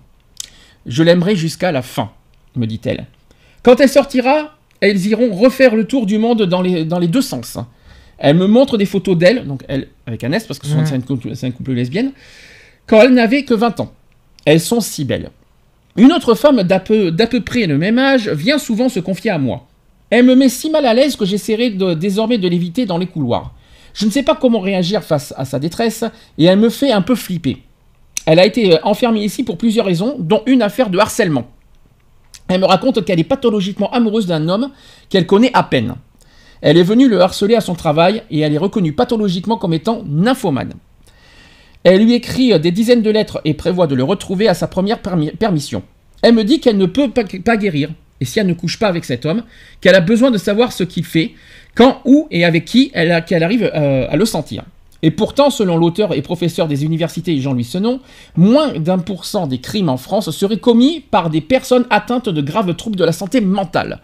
Au contraire, elles seraient de fait bien plus exposées à la violence car elles en sont les premières victimes eu égard à, leur fragilité. Les jours passent, et la première nuit sans être défoncé a- est assez dure. Je prends conscience de tout ce qui m'entoure. Le vent qui fait claquer les Vélux, les bruits de la plomberie, les gens qui rigolent et où j'ai mis au loin. Parfois les nuits sont calmes, parfois beaucoup moins. Le sevrage des médicaments est extrêmement difficile. Au moins quelqu'un joue de l'harmonica. J'ai eu la permission de sortir pendant 4 heures un après-midi. C'est au maximum 4 heures hein? Combien, c'est- combien t'as eu de permission? C'est 4 heures maximum. 4 heures maximum. Ouais. Accompagné par contre. Elle, elle a été accompagnée. Je crois, je crois que tu es en, en HL, non euh, En HL, En voilà. hospitalisation libre, tu peux sortir, mais tu es libre de. Mais il faut respecter les horaires.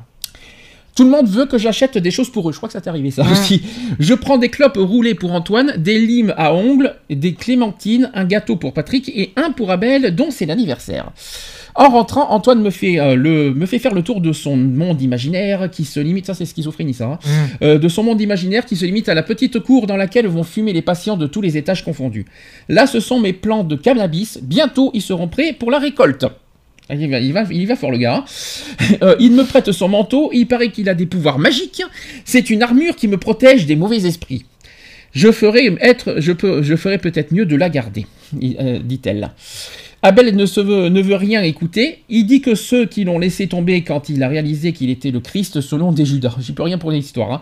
À la cantine, on reste en bande. Mhm. On est, euh, vous êtes, euh, quand vous, vous êtes toujours entre amis dans, autour de la table ou vous vous mélangez des fois? Ouais, ouais, on... ça arrivait qu'on se mélange, mais souvent on reste en. Entre amis, d'accord. On cherche nos animaux totems, on m'a contribué la tortue pour la sagesse, j'espère. On se raconte nos anecdotes de conneries Mhm. qu'on a pu faire en phase maniaque.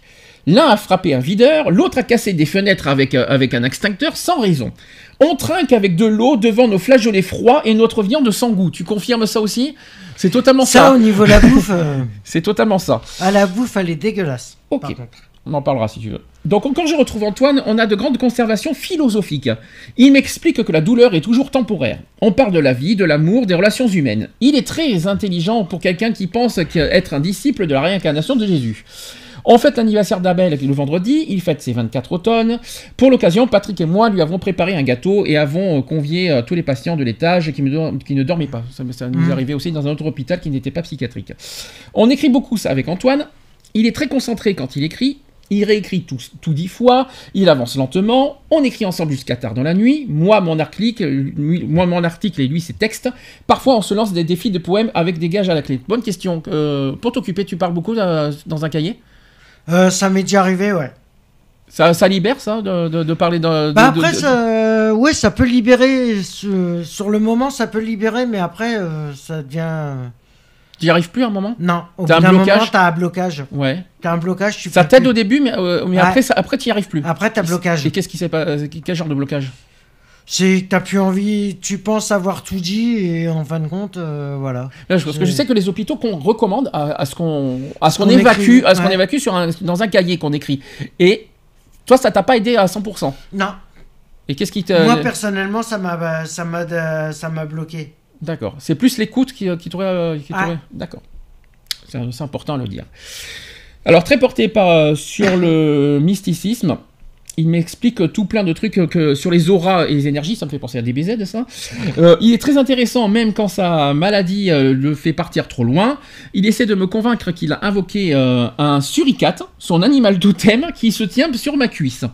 J'ai beau avoir vérifié plusieurs fois, il n'y a qu'une clémentine à moitié entamée. Je lui dis que je ne le vois pas, il me répond c'est normal, il est parti, il trouve que tu n'es pas sympa. Bon putain, il va fort le gars.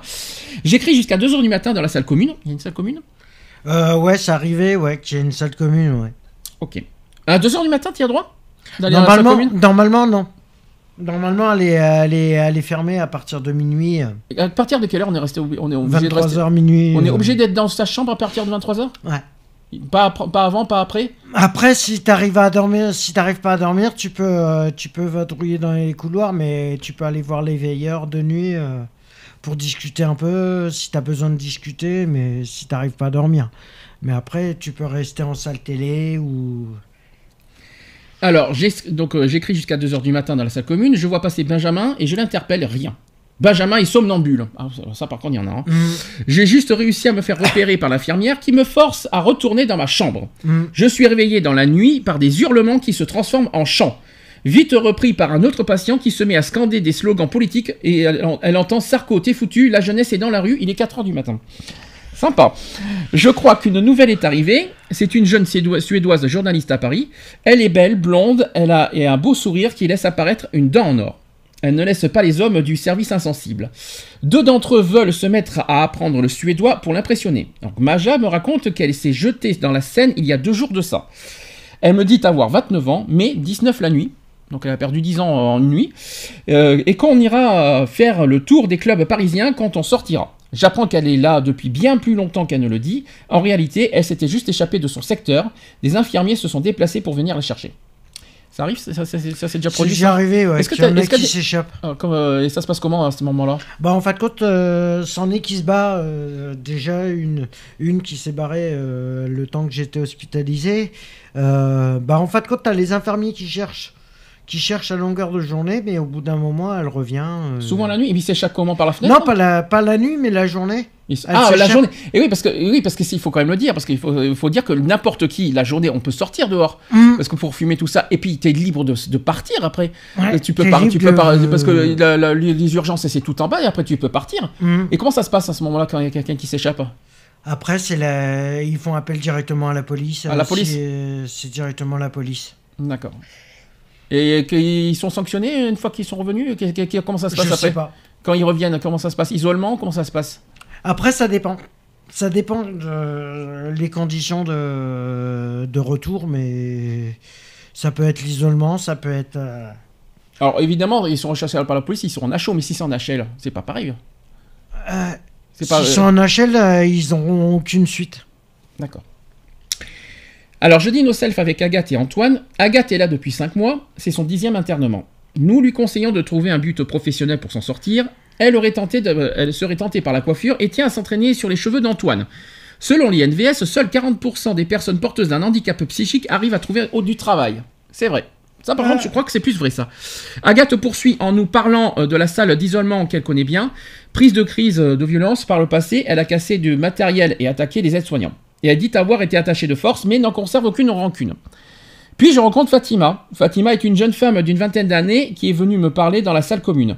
Elle est hospitalisée ici car elle vit très mal le fait d'avoir eu un enfant. Elle me raconte son désespoir et je lui dis plein de choses positives. Elle répète qu'elle veut mourir, semble avoir du mal à respirer, Et tout d'un coup, elle saisit euh, mes mains et, je, et les place sur son cou et ajoute Tue-moi, tue-moi de, tes trop- de tes propres mains. Ça revient un petit peu à ce qu'on a dit tout à l'heure. Hum, hum. Donc je panique complètement. Je lui dis de rester dans mon lit, ne de pas bouger. Donc comment, que- que- si jamais elle dit ça, qu'est-ce qu'il faut faire? Que- Comment le patient doit réagir? D'appeler l'infirmier tout de suite. Ouais. C'est pas au patient de s'occuper de ça par contre. Non, c'est aux infirmiers de s'occuper de ça et. Un autre patient qui te dit tue-moi, tue-moi. Qu'est-ce qui- qu'est-ce qu'est-ce qu'est-ce que comment le ré- alors c'est vrai que c'est plus facile à dire parce que quand t'es shooté au médicament t'es pas forc- t'as pas forcément la notion de réalité mais euh, en principe faut, faut prévenir le- le- la- les infirmiers Hum. C'est- ça serait logique donc je lui dis de rester dans mon lit, de ne pas bouger. Je cours chercher les infirmières de nuit qui semblent prendre la situation à la rigolade. Elles m'ont ri au visage. On va l'aider, mais on ne pourra pas la tuer par contre. Venant d'une infirmière, c'est grave. hein. Je vous le dis franchement, s'il a vraiment dit ça, euh, bravo, chapeau. Je ne dis pas chapeau pour sa phrase. hein. Depuis ma chambre, j'entends Fatima pleurer et se frapper la tête dans les murs. Ça, c'est, t'as déjà entendu ça? T'as déjà des gens qui, euh, t'as déjà entendu des gens qui se cognent dans les murs, qui ont voulu euh, se suicider aussi dans plein d'hôpital déjà- Non, déjà- non dans le... Moi, euh, le temps que j'étais hospitalisé, c'est pas arrivé, mais c'est déjà arrivé. Ouais, on en entend des vertes et des pas mûres quand tu rentres là-dedans. Je retourne au cercle de poésie pour me calmer. Je suis particulièrement agité depuis deux jours. Les infirmières le remarquent, m'assomment à coups de Loxapac, que je connais pas du tout, je sais pas ce que c'est, et me confisquent mon ordinateur, c'est le pour le mieux. Ah, bonne question. Est-ce qu'un ordinateur, même. euh, alors là, c'est une bonne question que, que je voudrais euh, poser. Est-ce que les patients qui doivent être là doivent être coupés du monde? Pour pas que ce Euh, soit spécialement bénéfique. Alors pourquoi? Ben, Parce que ça, ça, je veux dire, ça les coupe encore plus de la réalité, ça les coupe encore plus euh, Hmm. euh, du, du, du, du monde extérieur. Et moi, pour moi, je, trouve que ça pourrait que renforcer leur, euh, leur sentiment d'insécurité, leur sentiment d'is- d'isolement. Mhm. Est-ce que tu trouves qu'Internet est bénéfique pour les patients? Après, ça dépend les. euh, Après, ça dépend. Quand je dis couper du monde, alors évidemment, téléphone un minimum. C'est clair qu'il faut au- un minimum, qu'il y ait Minimum, de ouais. contact téléphonique. Mais est-ce que Bon, c'est après, il y en a qui Est-ce qu'il faut, est-ce qu'il faut qu'ils aient Internet? Non, je pense pas. Eve. Bah, si ça peut permettre de garder un petit contact avec la famille, les amis, euh, euh, euh, voir comment le monde extérieur évolue. euh, Ouais. Ouais, mais même, il y en a, ils se, rend- ils se rendent pas forcément compte de ce qui se passe. euh, T'as beau leur parler de l'extérieur, t'as beau leur dire euh, ce qui se passe dans le monde euh, extérieur, ils, euh, ils arrivent pas à- ils, ont, ils sont tellement shootés par les médocs qu'ils ils ont même plus la notion du... Je vais te poser, je vais te poser la, la même question parce que toi, tu l'as vécu ça, le, le- le coupa- le coupage du monde. Est-ce que ça a été bénéfique pour toi? Alors, téléphone y compris, hein. je tiens à le préciser. Bah, personnellement, hum, ça a été... ça- Est-ce que ça t'a aidé à t'occuper uniquement de, ta- de tes, de- de tes maladies ou est-ce que tu étais euh, complètement paumé? Est-ce qu'au contraire, ça t'a permis de te concentrer uniquement sur, ta- sur tes. euh, sur tes euh, sur non, ta ça m'a permis, ouais, ça m'a permis un peu, ça m'a permis un peu de me concentrer sur moi-même, mais euh, après c'est, ça dépend. Au bout d'un moment, ça devient. C'est avec la durée que c'est difficile. Ouais. Je pense que les premiers, les premiers jours, ça va. Les premiers jours, ça va. Les premières semaines, ça, la première semaine, ça a été. La- les premiers 15 jours, ça a été, mais une fois qu'au bout de 15 jours, c'est vrai que Donc tu le recommandes. monde extérieur a été plus fort que. Mais tu le recommandes quand même cette coupure du monde? Tu penses que c'est essentiel? Ouais. C'est Ouais, ouais. c'est vraiment primordial de le faire ça? Bah au moins, euh, au moins ça te permet de savoir un peu où c'est que t'en es, ou euh, ça, ça te permet de te poser les questions de pourquoi t'es là et de te concentrer sur ça. Mm. Mais par contre, euh, à une durée limitée. C'est-à-dire pas, Ouais. pas pendant tout le séjour. Non. D'accord. Par contre, ça a duré limité. Ok. Moi, ça a duré 15 jours parce que voilà. Mais au bout de 15 jours, c'est vrai que. T'en pouvais plus. Ouais. Ok. Alors lundi, je fais ma lithiémie. Je dois rester un peu plus longtemps pour savoir si mon taux de lithium dans le sang influe de- sur mon comportement, sans pour autant mettre en danger ma santé. Je suis tellement shooté que je ne ressens plus pas la prise de sang. Ah ah. Hein. Alors ça, c'est fort quand même. Quand on est tellement shooté, on ne- on on n'a plus de sensation finalement. ça ça t'est arrivé ça? Le fait qu'on est, est, tellement shooté qu'on ne ressent plus rien? C'est un truc de fou. quand Non, même moi ça va. les, euh, le traitement, il était, il était adapté pour pas que je me, euh, je me sente un peu. C'était juste pour me calmer les nerfs. Alors je Le continue. mien, il était. Voilà. Je continue le témoignage. Donc Antoine veut m'aider à ramener Abel à la réalité, quoiqu'il demeure persuadé que ce dernier est le fils de Dieu. Ça recommence, ça y est, c'est reparti pour un tour. Abel ne veut rien écouter. Il dit que ceux qui l'ont laissé tomber quand il a réalisé qu'il était le Christ sont des Judas. Il m'inquiète d'autant plus qu'il pense pouvoir ressu- ressusciter les Silmers. Super. Et en a fait un de ses buts. Récemment, il a été euh, rattrapé de justesse en enjambant la fenêtre du quatrième étage, quand même. hein. C'est un truc de fou. Ah, par contre, justement, comment, comment, euh, c'est ça qui m'inquiète. Les fenêtres, c'est censé être sécurisé. Normalement, les fenêtres sont sécurisées, mais elles sont. Elles sont C'est grand ouvert, c'est vraiment. Elles s'ouvrent de façon à ce que tu puisses pas passer euh, la tête. euh, tu peux. Tu... Elles sont ouvertes de quoi Allez. Euh, Oui, ça- voilà, que le bas. Oui, tu, peux Pas ouvrir la- que le bas. Tu peux pas Après, ouvrir ça entièrement. Non, tu peux pas l'ouvrir entièrement. Bah, j'espère bien, De parce que- façon à ce que tu puisses pas sortir. euh, Bah, voilà, il y a quand même une histoire, une histoire de sécurité aussi à l'intérieur qu'il faut Mhm. penser. Par contre, il y a une chose que- qu'ils ont oublié, ça, ça s'est déjà produit. Je vais, je vais raconter une histoire au niveau sécurité. Bon, Je parle des personnes suicidaires qui sont dans l'hôpital. Ils peuvent, ils- ils- on, vous, on vous confisque par exemple tout ce qui est lame de rasoir, tout ça, qu'on vous les donne. euh, tu, me, tu me confirmes normalement tout ce qui est. euh, on, vous, on vous- on vérifie vos sacs. À l'entrée Ouais. de, on regarde s'il n'y a pas de couteau, s'il n'y a pas de lame, tout ça. Ouais. Tout Sauf ce qui est coupant, tout ce qui est coupant Ouais. est arrêté. T'es sûr de toi euh, T'es sûr de toi Qu'est-ce que t'en fais des couteaux de, de la cantine? Ouais, ils sont inoffensifs. Ah, t'es sûr de toi? Moi, je suis pas convaincu. Parce que je suis désolé, tu sais qu'on peut piquer des, des couteaux dans la cantine sans que les infirmiers vérifient? Oui, ça c'est faisable, mais c'est pas des faisable. couteaux pointus. Tellement que c'est faisable, je l'ai fait. Ouais, mais c'est pas des couteaux désolé. Je pointus. suis dé- Non, si, si. que tu... Mais attends, mais tu peux te couper avec. Je suis désolé. Tu imagines, tu, imagines, tu imagines que les infirmiers vérifient même pas que sur, euh, si, les, si, les, si les patients n'ont pas sur eux quelque chose qui appartient à la cantine. Ouais. Bon, déjà, il y a une histoire de sécurité que, que je peux dénoncer aussi à mon tour. Parce que les couteaux, tu peux en apporter dans la chambre. Il n'y a pas de problème. Mhm. hein. Et ça dérange personne, ça. Ça euh, vérifie même les, les couteaux des petits déjeuners. Tu prends des petits couteaux au petit déjeuner parce que tu c'est un self le petit déjeuner le Mhm. matin. C'est toi qui te sers c'est toi qui te sers tout ça. Mais et en plus ces couteaux c'est même pas en plastique. C'est des vraiment des couteaux en ferraille quoi, en inox qu'on a. Ouais, c'est Euh, des les- couteaux en inox, mais à couteaux- arrondi pour. euh, Oui, mais c'est les couteaux à dents. C'est des couteaux à dents. Il me semble. Et Eve, je me trompe pas. Même avec des couteaux à dents, on peut se couper. Non.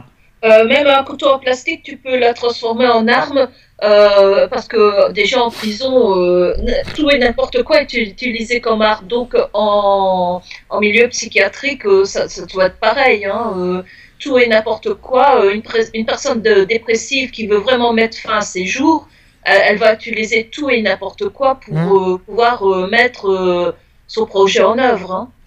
C'est clair. Comment ça se passe pour les rasages? Le pour le rasage, alors tu demandes le, le- le matin. Le matin, tu demandes ton rasoir Oui. à l'infirmier de- qui est présent. Oui. Et après, tu lui ramènes. Tu es obligé de lui ramener. surveillés ou pas surveillés Non. Ah, t'as une lame de rasoir non surveillée? Après, ça dépend. Après, ça dépend les, les endroits. Après, ça dépend. Parce que euh, moi, je sais que. Moi, je sais où, où j'étais. Nous, on n'était pas surveillés quand Ah bah c'est grave. Bah, c'est pas normal. C'est pas normal. S'il y a quelqu'un qui a, si quelqu'un a, a l'ombre d'une idée noire dans sa tête, euh, si c'est pas surveillé, c'est grave. Là, c'est la responsabilité de l'hôpital. Je suis Mm. désolé. C'est comme les couteaux que je, vous ai expliqué dans la cantine. Donc moi, je suis désolé. euh, on peut se planter en plus, avec le couteau, que ce soit arrondi ou pas, on peut se planter avec un couteau. Ouais, On est obligé. mais c'est moins dangereux. Ah que- non, non, je suis pas d'accord avec toi. Je suis Ah désolé. bah, je vais dire que nous, les couteaux qu'ils Moi, pour moi, euh, si je dois faire encore une critique, il y, a, euh, il y a encore des problèmes de sécurité à revoir dans les hôpitaux, des fois. Parce Ah, que, bah, après, euh, je- je- franchement, euh, bon, les fenêtres, c'est bien. Euh, moi, je suis désolé. Moi, ce qui serait bien aussi euh, au niveau des hôpitaux, parce qu'on parle aussi des fuites et de tout ça, ça serait bien de faire comme il y a eu aussi à l'hôpital de, de- justement quand on était au mai, quand on avait des, des- des- des- les, les doigts là, tu sais, quand, tout ça. hum, Eh bien, ça serait bien qu'il y ait ces contrôles-là, parce que comme ça, ça permet de voir s'ils sont rentrés ou pas. Quand est-ce qu'ils sortent, quand est-ce qu'ils sortent Parce que comme ça, les infirmiers ont sur eux les contrôles de qui sort, qui sort pas, etc. Et puis comme, euh, voilà, parce que s'il y en a, il y en a qui peuvent sortir sans, sans, sans rien. Tandis que les portes, il faudrait que ça soit, il faudrait que ça soit électrisé maintenant les portes. Il faudrait, que- faudrait pas qu'on qu'on sorte librement. Mais déjà, le, déjà le, le problème du qui est, c'est qu'en fin de compte, là, on essaye d'avoir de laisser le patient un peu autonome quand même. euh, Oui, mais ils peuvent sortir, mais avec, euh, comment on appelle ça, empreinte a- digitale. Mais il y en a dans les secteurs, euh, il y en a dans dans d'autres pavillons où, où ils sont surveillés euh, 24 heures sur 24. hein. Bon, Après, ça dépend les, les pathologies, mais Enfin, si je peux me permettre, je trouve que côté sécurité, c'est pas encore ça. hein. Ça manque de sécurité. Ça manque encore. Il y, en a, Ouais. il y a encore plein de bémols là-dessus, si je peux me permettre. Je sais Bah, pas si déjà, le pavillon F, ils vont le détruire. Hein. Euh, Ça peu importe, détruire ou pas détruire, je parle des hôpitaux, de tout, je parle pas, on Pour parle pas le que de refaire. Digne, on parle des hôpitaux en général. Non, mais ouais, Euh, après. ça manque euh, encore de, sécu- de sécurité. Euh, Je sais pas ce que t'en penses toi, Eve, de ton côté. Je sais pas ce que, ce que si, si, si ce que je dis est véritable ou si tu trouves pas un petit euh, exagéré ce que je dis. Mais est-ce que, est-ce que tu es d'accord avec ce que j'ai dit d'a- d'abord? Euh, oui, oui, tout à fait d'accord avec toi, parce que comme je disais, euh, euh, tout et n'importe quoi peut être utilisé contre, comme arme contre donc la personne qui veut vraiment mettre fin à ses jours. Euh, je veux dire, il faut être vraiment très vigilant. Tant que tant que la personne a ses pensées morbides dans la tête, comme je disais, tout et n'importe quoi peut servir d'arme. Une paire de draps pour se pendre ou que sais-je. Ah oui, on a oublié les draps, c'est vrai. Ouais, mais bon, pour euh, les, les draps, il faut d'abord euh, réussir à, à pendre le drap euh, sur, sur le plafond. Ça, par contre, c'est pas ça- Ah, il n'y a pas ça, encore ça- longtemps, j'ai vu qu'il avait un jeune homme qui était incarcéré, qui s'est qui, qui s'est suicidé. Donc, tu vois. euh, Ouais, mais ça, c'est en prison. Le problème, il est là. C'est que dans les hôpitaux psychiatriques, c'est pas les mêmes cellules. Et puis le plafond est plus haut, je crois. Ouais. Il est pas aussi bas que, le- que les prisons, je crois. hein, si je peux me Mais c'est pas les mêmes cellules déjà. Oui. C'est pas les mêmes, euh, c'est pas les mêmes conditions. Hmm. Parce qu'en en hôpital psychiatrique, pour se suicider, franchement, faut vraiment, euh, faut vraiment y aller. hein. Alors, je poursuis. Les jours passent et se ressemblent, mais je quitte l'hôpital aujourd'hui. Ma chambre vient d'être désinfectée et va être occupée par un homme. Celui-ci insulte les infirmières et refuse de porter le pyjama de circonstance. Ah ah, le fameux, pi- le fameux pyjama. Bah là, Moi, je l'avais pas. ouais, moi je pense que tous les hôpitaux ne le font pas, ça, hein, les fameux pyjamas de Bah, le pyjama, il est, il est seulement obligatoire, c'est seulement si t'es en hospitalisation libre. T'es en hospitalisation d'office. oui. euh, libre, je crois que tu pouvais mettre tes, propres vêtements, il n'y a pas de Ouais. souci. Hein. Mais il y en a qui sont en hospitalisation d'office et qui avaient leurs propres vêtements. D'accord. Je crois qu'aujourd'hui ça a évolué ce, ce sujet. Ouais, ah ouais. Euh, J'en veux pas de ton putain de pyjama, j'aurai froid quand j'irai fumer mon héroïne. Sympa. C'est sympa lui. Pas de discours émouvant ni dieu humide pour mon départ. J'embrasse Patrick et Antoine. Il me donne un poème qu'il a écrit pour moi et je file prendre un taxi. En l'attendant, Maja, la suédoise en cavale, passe à mes côtés. Euh, elle s'adresse à moi comme si nous étions deux amis ou deux amantes. Wanna smoke smo- some weed me dit-elle. I wanna smoke some weed with you because you are the pretest here. Alors désolé, c'est en anglais. hein. Je pense qu'elle a dû être. Oui, parce qu'elle est suédoise, il faut pas l'oublier. Hmm. Elle n'est pas française. Donc au moment où elle me répète qu'elle veut aller se promener avec moi, elle est rattrapée par les membres euh, du staff. Tandis qu'elle est raccompagnée de force euh, vers l'entrée, elle crie Si tu ne les regardes pas, ils ne peuvent pas nous voir. Ne les regarde pas, Louise, ne les regarde pas. Voilà, ça c'était le premier témoignage. Est-ce que vous avez des, des- est-ce qu'il y a des choses que vous reconnaissez? Est-ce qu'il y a des choses qui sont exagérées? Est-ce qu'il y a des choses qui ont évolué Je pense qu'à mon avis, il y a quand même des choses assez exagérées dedans parce que. Il y a des choses qui ont évolué. Hein, je- Ouais, il y a des choses qui ont évolué. Mais il y a des choses qui sont encore aujourd'hui à revoir. Donc la sécurité, c'est clair. Le côté euh, que les infirmiers euh, s'occupent pas des patients, voilà. Et puis le côté trop médicaments, parce que le côté, il y en a qui disent je suis shooté, mais Mm. c'est quand même, quand même fort de dire Après ça. ça. dépend les, ça, après, ça dépend les traitements. Si c'est après, ça dépend le cas des, des pathologies. hein. Toute pathologie a son propre traitement. hein. Qu'est-ce que t'en penses, toi, Eve?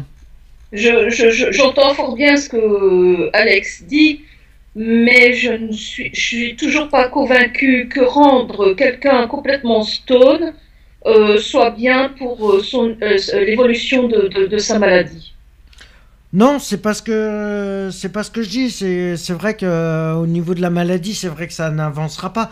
Mais le, le problème, il est, c'est que selon la pathologie de la personne, euh, Et Ça si- sert à quoi Ça te sert à quoi d'être d'être shooté autant? Ça, ça, ça apporte quoi Bah, derrière? ça, ça évite qu'ils s'en. euh, mais c'est souvent, c'est des, souvent des antidépresseurs qui donnent. euh, parce que moi, je sais que Oui, Mais ça apporte Des- quoi d'être d'être autant shooté? Ça apporte quoi? Qu'est- qu'est- Qu'est-ce que ça ça évite qu'ils se, me- se mettent en danger, ça évite qu'ils mettent les, les autres en danger, ça évite que. Parce que après. euh, Je sais pas, parce que après ça dépend des pathologies. Moi, je. je Toutes, sais toutes que- les, toutes les pathologies sont, euh, sont bonnes à prendre. Il n'y a pas une pathologie plus grave qu'une autre. hein. Non, non, Euh, c'est sûr. Je suis désolé. C'est sûr, mais après, voilà. euh, Je sais pas, moi, après, c'est chacun. De mettre en... Alors par contre, là où tu as raison, euh, je suis d'accord avec toi sur un point, c'est qu'effectivement, d'avoir autant de traitements, ça évite d'être, de mettre en danger les autres patients. Ça, par contre, Les autres je suis d'accord patients avec se toi. mettent en danger soi-même. Je suis, d'accord avec toi parce que le côté agressif, le côté euh, tout ça qui. euh, La qui, euh, preuve, nous, on en a un où il était carrément euh, shooté du matin au soir parce que euh, il était, sinon il est, il est, un- il est agressif avec tout le monde. Ouais, mais alors dans ce cas, c'est, est-ce que c'est une raison de parce qu'on est confronté aux autres patients de shooter autant les patients? Moi, je suis désolé. S'il y a que ça, autant être chacun dans sa chambre et on n'en parle plus. Au moins. et- Ouais, et- mais même, autant euh, être chacun dans sa chambre et une avoir moins de personne- médicaments. Si t'as une personne d'agressive, euh, automatiquement, ça, c'est pour la tranquillité des autres, c'est pas évident. Alors c'est pour ça ils essayent de trouver des, des remèdes. euh, Mais comme j'ai dit, c'est pas parce qu'on est shooté aux médicaments qu'on est guéri et qu'on oublie les Ah non, problèmes. non, c'est sûr, c'est sûr. Pour moi, mais- pour moi, être shooté euh, aux médicaments comme ça en permanence, c'est comme si on faisait une lobotomie chimique. Oui, mais il y a un autre mais problème. de la- ouais, c'est. Et ouais, il y a un autre problème qu'il faut pas oublier, c'est qu'être shooté autant aux médicaments, on peut en devenir dépendant.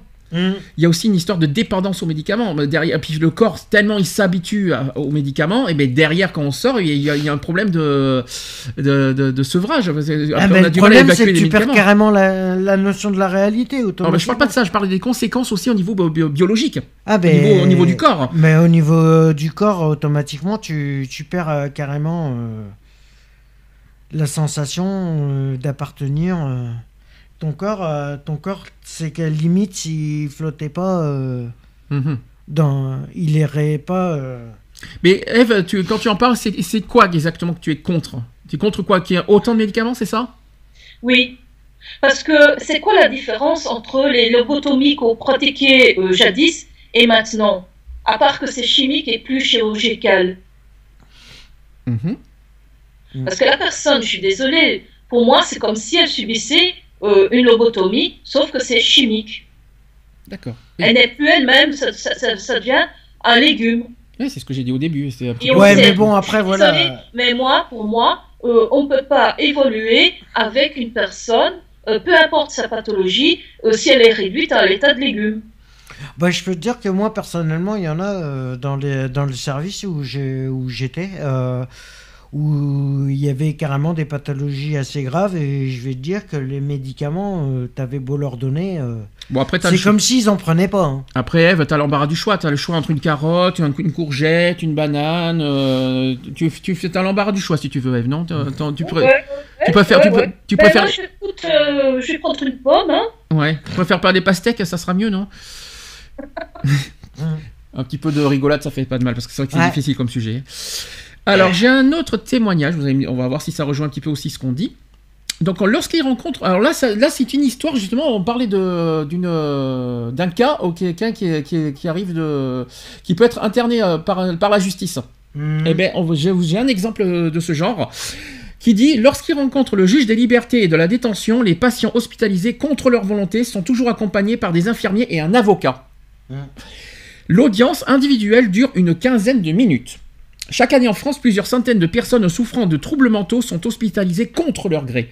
La loi prévoit un contrôle strict de cette privation temporaire de liberté. Une citation qui dit Je me sens très bien, je ne comprends pas du tout pourquoi on m'a foutu ici. Le regard euh, sous les euh, cheveux et insurte, euh, hirsute hirsute plutôt. Sébastien articule quelques mots d'une voix cotonneuse, mais ses yeux se perdent vite dans le vide. Encadré par son avocate et un infirmier, ce puits de 30 ans est assis face à Jean-Christophe Riboulet, qui est le juge des libertés et de la détention, donc le JLD. Le magistrat Clermontois euh, est chargé de statuer euh, sur la prolongation ou non de son hospitalisation sans consentement. Euh, donc sachez que Sébastien est atteint de troubles psychotiques. Donc comme problème, comme beaucoup d'autres malades, il est SDF au passage. C'est un SDF qui est à la dérive et qui ne prend pas son traitement. Son errance l'a mené aux urgences de Riom.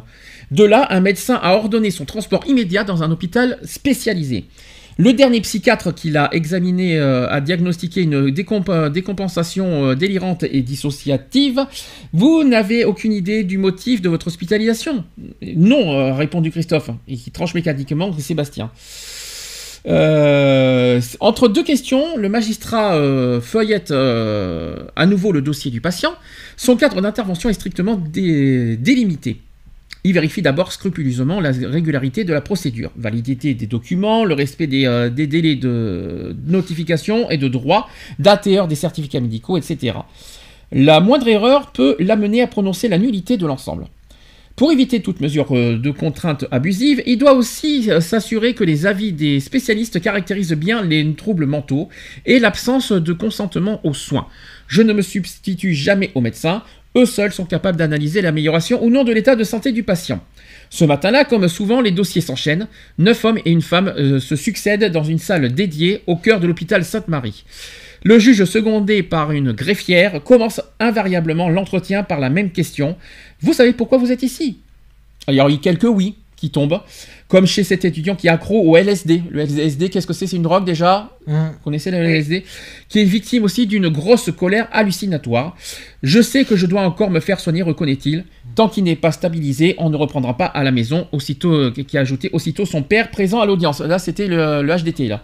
Hum. Euh, mais le plus souvent, à l'instar de Sébastien, les patients ne voient pas ou refusent de voir la réalité de leur situation. Je veux rentrer chez moi.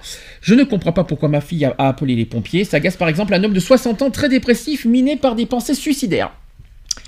Laissez-moi partir, s'emporte un autre sexagénaire très agité, grand habitué des hôpitaux psychiatriques et recueilli fin octobre alors qu'il s'était mis en tête de faire le ménage dans une banque de chamalières. Décidément. Dans son cas, les médecins excluent pour leur tout retour à domicile. La curatrice qui le suit confirme, il, est récupéré, euh, il a été récupéré récemment euh, alors qu'il poussait un caddie à contresens sur une double voie. Son comportement est dangereux pour lui-même et pour les autres. Au terme de chaque échange, Jean-Christophe Riboulet qui prend le temps de délibérer au calme, ses décisions sont nécessairement euh, motivées par écrit, ce qui ne l'empêche pas d'expliquer et même de rassurer si besoin. Ne soyez pas inqui- inquiet, euh, glisse-t-il euh, ainsi à un, schizophrène dont l'hospitalisation vient d'être prolongée. C'est dans votre intérêt aujourd'hui de vous garder sous surveillance, mais personne n'a vocation à rester ici indéfiniment. Dès que votre état le permettra, vous irez poursuivre vos soins chez vous. Merci, monsieur le juge, murmure le patient en quittant lentement la pièce. Qu'est-ce que vous en pensez de cette méthode?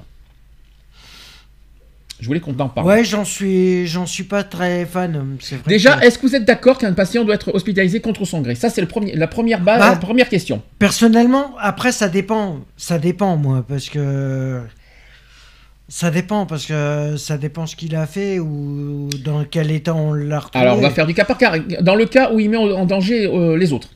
Oui, Toi, Eve. dans le cas où il met les. Mais euh, moi, je, je me questionnais sur le SDF qu'on accusait de ne pas vouloir prendre son, son traitement. Est-ce qu'il ne le veut pas de lui-même ou est-ce qu'il est dans la capacité de se l'acheter? Il a la CMU.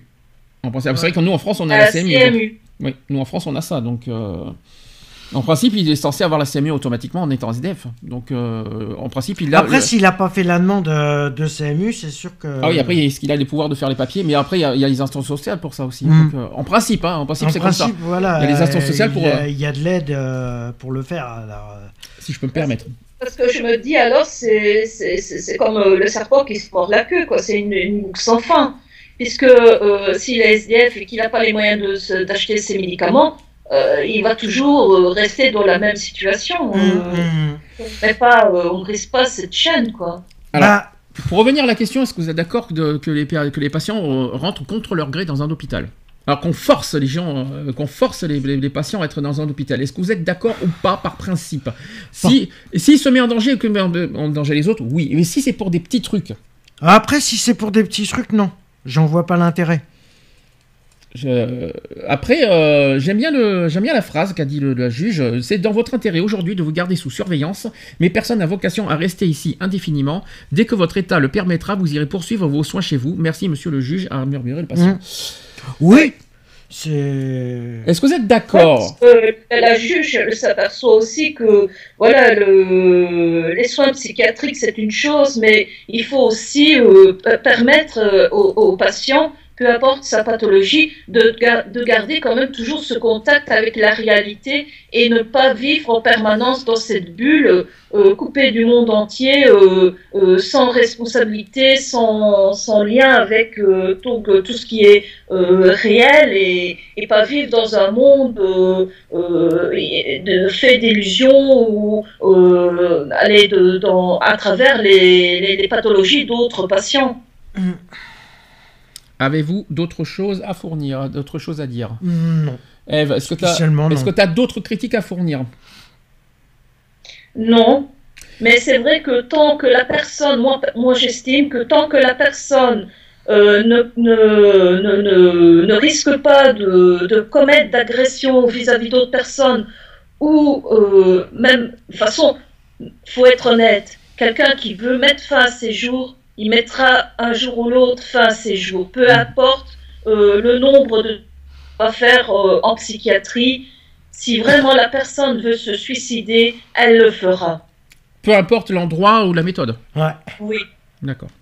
C'est une fois que tu es là-dedans, là-dedans. Alors ça, je connais ça. Une fois que tu es là-dedans, tu ne peux pas tu ne peux pas tellement que la souffrance est profonde, tout ça, les rejets, tout ça. C'est vrai que tu peux pas te débarrasser d'une idée noire comme ça facilement. Surtout quand t'es pas à l'écoute et qu'il y a personne autour de toi. Alors là, ce qui est pire, c'est quand tu as des gens qui n'ont pas de soutien, qui n'ont pas d'écoute.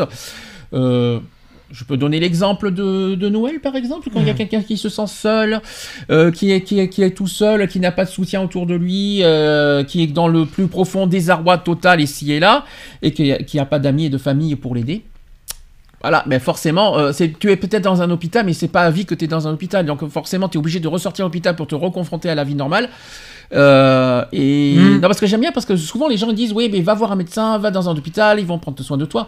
Mais c'est pas parce que tu es dans un hôpital que tu vas, tu vas ressortir d'hôpital en oubliant tous tes problèmes. Ah non, c'est clair. Euh, c'est pas parce que tu sors d'hôpital que ça y est, d'un coup, tout va. Oh, ça y est, je vais beaucoup mieux, youpi! Mais ça tu va- vas peut-être beaucoup mieux, Euh, mais, mais le problème- l'extérieur, il... mais, mais la sera réalité, toujours là. et c'est pas ça, c'est que la réalité de l'extérieur va te rattraper à nouveau.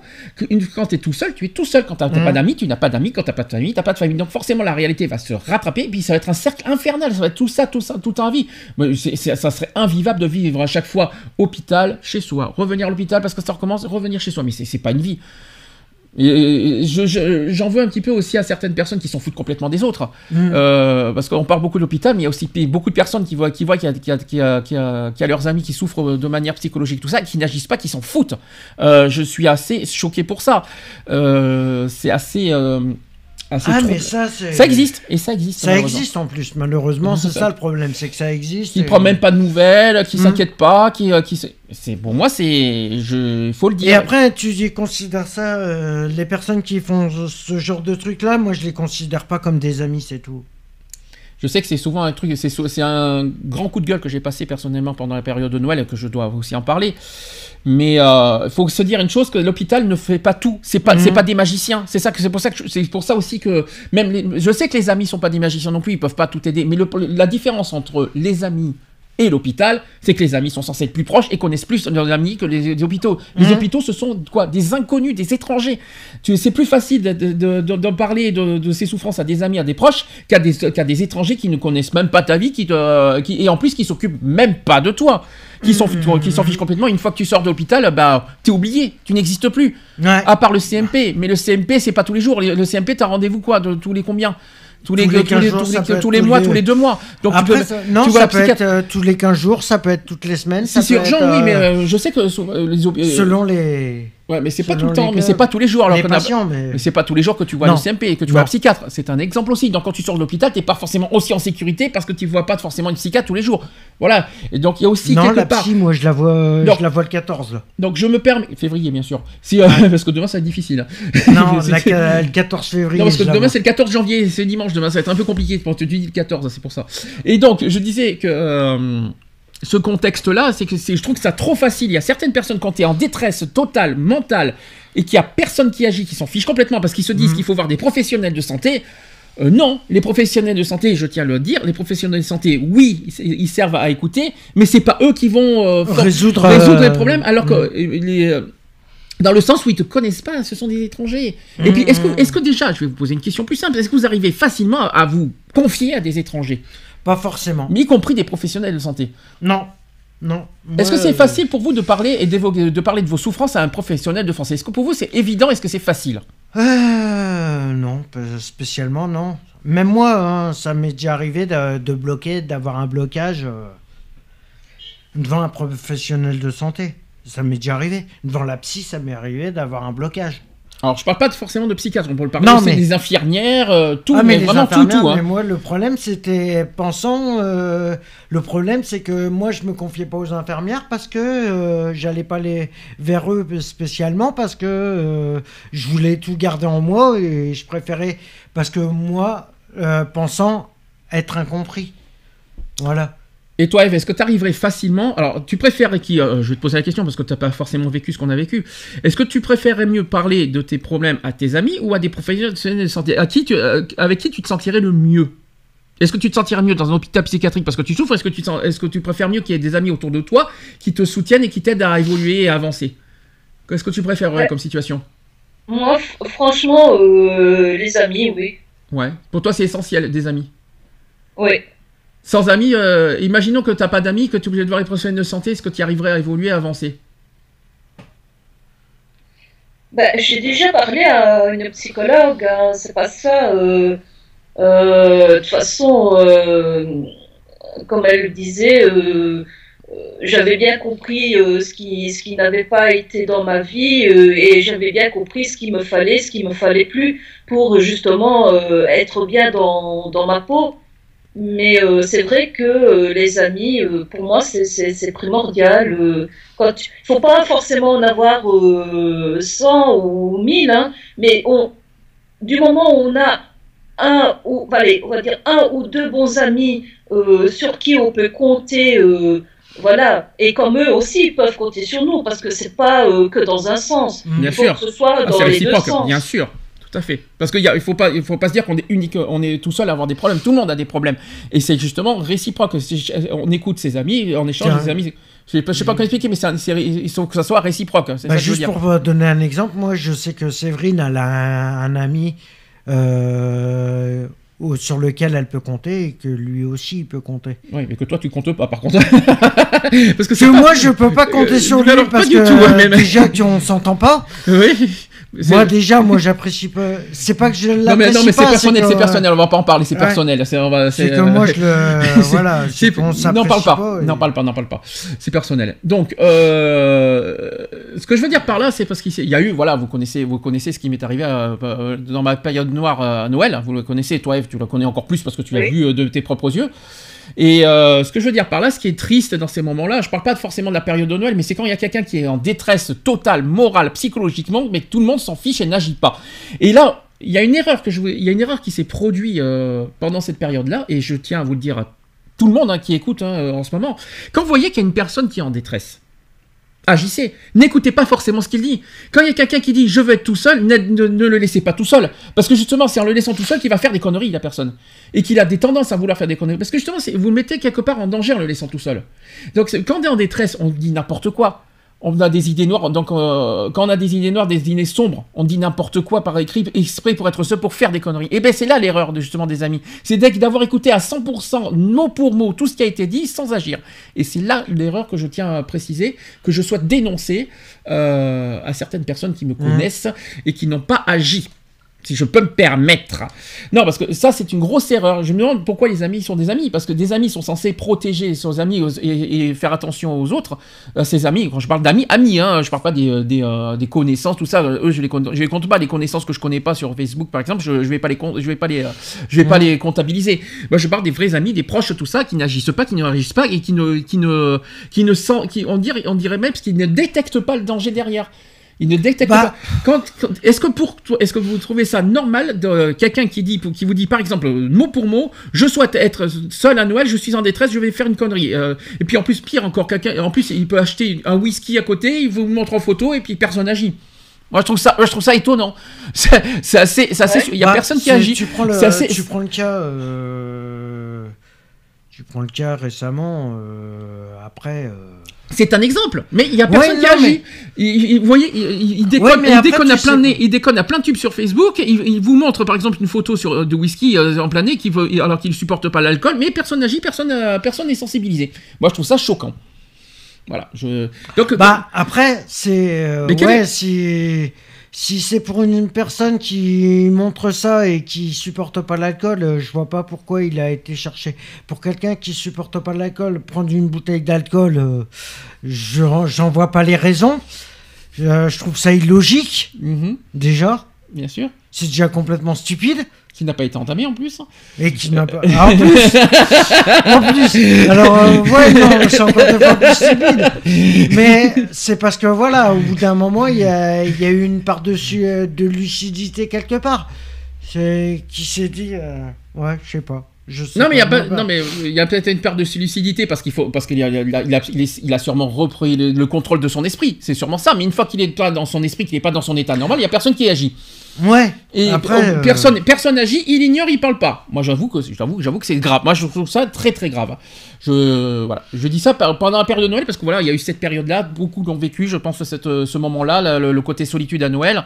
Euh, D'ailleurs, j'ai une pensée pour toutes les personnes qui ont vécu ce- Mhm. ça à Noël. Je, je suis de tout cœur avec eux et avec elles, bien sûr, qui ont vécu, voilà, qui ont vécu des drames l'année dernière, euh, qui ont vécu de, bah là, des pertes de proches, euh, des pertes d'enfants, des pertes, euh, tout ça et tout ça, etc. Qui, qui, Oui, il y en a, c'est simplement parce que les fêtes euh, n'est plus. qui n'ont pas de famille. qui n'ont pas de famille, Mm. mais après, euh, ou pour eux, c'est un jour comme tous les autres. Ah, il y en a, Les il y en a- les, Ouais, je parle pas de- Il y en a où y en a, les je- jours euh, se ressemblent. Et... Je parle pas de ça, je parle des, des, choses, des choses, des gens qui ne le, qui ne ont du mal à passer ce cap. hein. Oui. Qui, ont- qui ont- qui ont- qui Après, n'aiment pas. Voilà, il y en a plein qui n'ont pas vécu, qui ont du mal, et que je trouve triste et dommage que certaines sont, que tout le monde s'en fout. Et je trouve qu'on est dans un monde aujourd'hui auquel euh, on est de, c'est de pire en pire aujourd'hui. hein. mm. on va en parler après euh, avec le débat. Vous allez voir, c'est, c'est incroyable. Mais toi, Eve, t'as, t'as quelque chose à dire là-dessus aussi? C'est ce que je viens de dire. T'as quelque chose à rajouter? Euh, C'est vrai que c'est- c'est une période extrêmement difficile pour euh, pas mal de personnes. Euh, il faut pas forcément être chrétien pour euh, euh, voir euh, cette fête-là euh, avec euh, une immense solitude. On peut, voilà, peut très bien euh, se sentir immen- immensément seul euh, durant cette période euh, sans vouloir euh, fêter spécialement cette fête-là. Et euh, c'est pas pour rien qu'il y a quand même un taux élevé de, de suicide.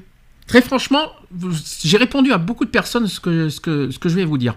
J'ai dit, je préfère mille fois passer un Noël avec un, repas minable. Je vous dis franchement, je m'en fiche complètement du, du- du repas. Je préfère, je pré- je préfère, ouais, les, les pâtes, les, les pâtes bolognaises par exemple. Eve qui a vécu ça, hein, euh, elle a vécu les pâtes bolognaises. Ça, ça, avoue, avoue- il faut avouer que c'est un repas. Oui, mais t'as pas été seul. Tu vois ce que je veux dire Donc dans le sens où euh, je préfère avoir passer, euh, avoir un repas minable et le passer avec beaucoup de personnes, plutôt que de me faire un repas comme moi j'ai fait un Noël dernier, à faire un repas de festin avec mes, mes, mes, mes magrets de canard et être tout seul. Franchement, c'était insupportable. mais euh, elles étaient bonnes, mais pas de boulot. Oui, mais bon, t'étais pas toute seule. Mais ce que je veux dire, c'était, c'était peut-être agréable le repas de Noël avec le- les magrets de canard, mais qu'est-ce que ça a été dur psychologiquement. Ça a été très, très, très, très dur et je ne l'ai pas du tout supporté. Et aujourd'hui, je m'en remets pas encore, je vous le dis franchement. hein. Euh, je m'en suis pas encore remis de, de- de cette épreuve. hein. Euh, J'ai encore eu du mal à récupérer. C'est pour ça que j'ai pas parlé beaucoup sur Facebook ces temps-ci. Parce que j'ai eu encore beaucoup, beaucoup de mal à récupérer et à, et à accepter ce que j'ai vécu à Noël. hein, je vous le dis franchement. Après, je vais Après- pas, vous- après, je vais pas vous donner des détails. euh, je ça concerne pas tout le monde. Non, mais voilà, après, j'imagine, euh, euh, que que y a d'autres personnes qui ont vécu la même chose que moi. Et Bah, moi, j'ai voilà, passé voilà. les fêtes. euh, moi, j'ai passé les fêtes de, euh, de famille euh, avec la famille, mais c'est pas pour ça que je me suis éclaté en plus. hein. Ouais, mais bon, si je peux me permettre. J'étais avec la famille, peut-être, mais bon, euh, c'est pas pour ça que ça a été euh, l'extase totale. hein. Enfin bon, c'est pas le sujet de Noël que je voulais dire, c'est juste voilà le, le rôle aussi des amis euh, de faire attention, Mhm. euh, de- de- de- de- d'avoir le déclic et d'avoir d'être sensibilisé dès qu'il y a un- le minimum de danger qu'ils agissent et pas qu'ils- et pas qu'ils écoutent à mais la lettre. après, Quand ouais, il y mais a quelqu'un après, qui- quand- ils savent quand il y a- pas quand forcément ah bah je suis faire. désolé quand, quand on se connaît, on se connaît. C'est pas si c'était une, une connaissance euh, tout ça, mais quand, quand on est censé se connaître T'as depuis beau, de longue date. beau- t'as beau te connaître depuis 15-20 ans, euh, c'est, tu sais jamais comment réagir Oh sur bah le c'est moment. simple. Bah pourtant c'est simple. il faut, c'est simple à détecter. hein, je vous le dis Bah, c'est facile à détecter, mais c'est jamais facile d'agir. Oh bah dis donc, même, sur, euh, même quand t'es à côté, bah excusez-moi, je ne dirai rien parce Bah que oui, je mais- préfère pas parler de ce sujet parce que je, vais- je vais encore me, je, vais- je préfère pas en parler parce que je, voilà, j'ai déjà tout dit sur Facebook ce que je Mhm. pensais, je vais pas en reparler euh, à chaque fois aujourd'hui. Je suis censé ne plus y penser, mais c'est pas évident. Mhm. Je voudrais qu'on finisse sur le sujet parce qu'il va être bientôt 17h. Pour le- la, la conclusion, que certes, euh, pour finir, euh, on, on revient sur l'hôpital, que certains patients se plaignent du déroulement à l'intérieur de l'hôpital. Alors, j'ai- Mm. j'ai en 5 points. Vous allez me dire si vous êtes d'accord. On, en a- on en a un petit peu parlé euh, euh, sur, euh, sur le sujet. Déjà, on, ça, on l'a pas dit. Trop d'attente sur une chaise lors de l'entrée à l'hôpital. Ouais. Alors ça, par contre, ça, Ça- par contre, euh, Ça, c'est vrai que tu.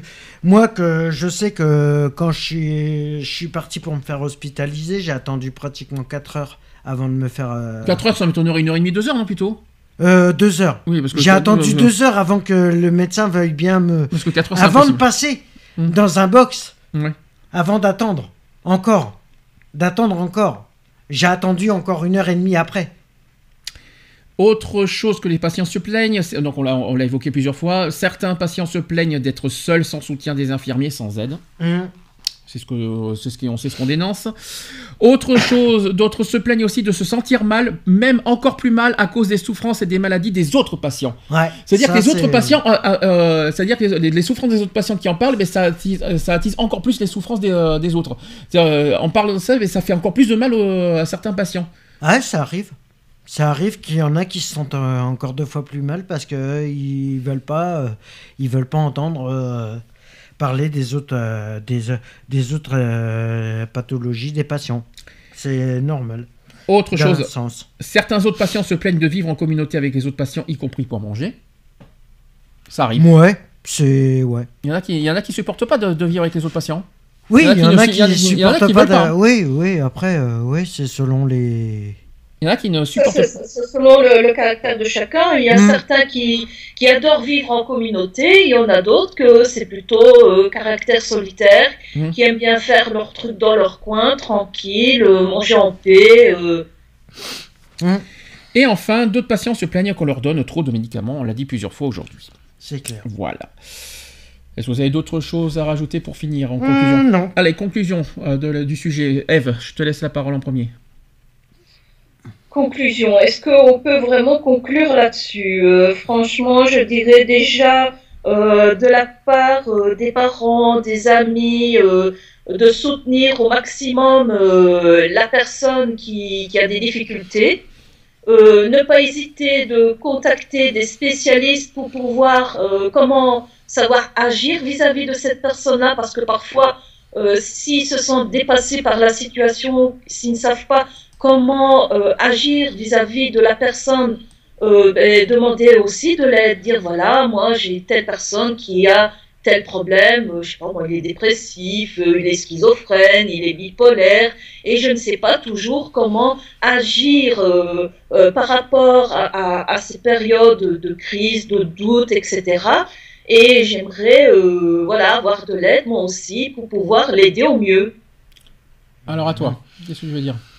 Non, moi personnellement, c'est de. Ouais, si vous avez des amis, euh, je vais prendre le terme euh, amis, parce que. On parle des hôpitaux psychiatriques, je parle pas de l'amitié. hein. Euh, par rapport aux hôpitaux psychiatriques, euh, non, j'ai pe- personnellement rien à dire, à part un peu plus de surveillance, un peu plus de d'écoute au niveau des patients, voilà. Alors ouais, bon, ça c'est un petit peu la critique qu'on a, qu'on a dit. C'est vrai que la conclusion c'est simple, c'est que c'est vrai qu'il y a eu pas mal d'évolutions sur euh, dans le domaine de l'hôpital psychiatrique, mais je trouve que c'est pas encore suffisant. Euh, Non, il y a encore beaucoup, il y a domaines à encore- preuve- Il y a encore beaucoup de choses à travailler, beaucoup de choses à revoir. euh, voilà, comme tu as dit, voilà, pour moi, le- le- le- la chose la plus. la- une des bases des plus fondamentales là-dedans, c'est le rôle des infirmiers. Les infirmiers ne sont pas dans du bureau, euh, ils sont là pour s'occuper des patients et de faire attention que les- que- que- qu'il n'y a pas de problème entre patients, si je peux me Mm. permettre. Ça, c'est il y déjà a encore plein, ouais. plein de choses. Et puis, bien sûr, le côté sécurité, ça, c'est aussi mon deuxième point noir que je souhaite dénoncer et qu'il faut encore améliorer là-dessus. Mm. Voilà, que ce soit Mm. pour les portes d'entrée, que ce soit pour les fenêtres, que ce soit pour les, euh, même pour les ustensiles de cuisine, de- des surveillances, tout ça. Voilà, c'est vraiment les points noirs euh, aujourd'hui. Après, je ne dis pas qu'il y a que des points négatifs, il y a beaucoup de points positifs. Il y a, les hôpitaux apportent beaucoup de choses aussi euh, aux patients. Quand on sort des hôpitaux, il me semble qu'on est assez satisfait de temps en temps euh, de, ce qu'on a accompli dans les hôpitaux. Il y en a certains qui sont déçus, il y en a qui sont très satisfaits. Mm. Faut être honnête aussi, il faut pas dire n'importe quoi. Mais Bah ce après, n'est pas. il y en mais- a, ils mais- n'ont pas de changement. euh, mais ce n'est pas, mais on est satisfait, mais on n'est pas à 100% satisfait. Ouais. Et moi, ce que, ce que j'espère, c'est qu'on est, euh, que les patients sortent vraiment tranquilles des hôpitaux sans, euh, sans, sans problème. Mm. C'est le principe de base des hôpitaux, que les, que les patients sortent à 100% en confiance et sans, sans qu'il y ait de risque derrière. Voilà, c'est le but recherché. Et c'est pas, si je peux me permettre, en leur bourrant des médicaments dans les hôpitaux que qu'ils se sentiront mieux à l'extérieur, si je peux me permettre. Oui, c'est sûr aussi. Voilà, ça c'était mon ma façon de voir les choses. Alors, on va faire Retrouvez nos vidéos et nos podcasts sur www.equality-podcast.fr.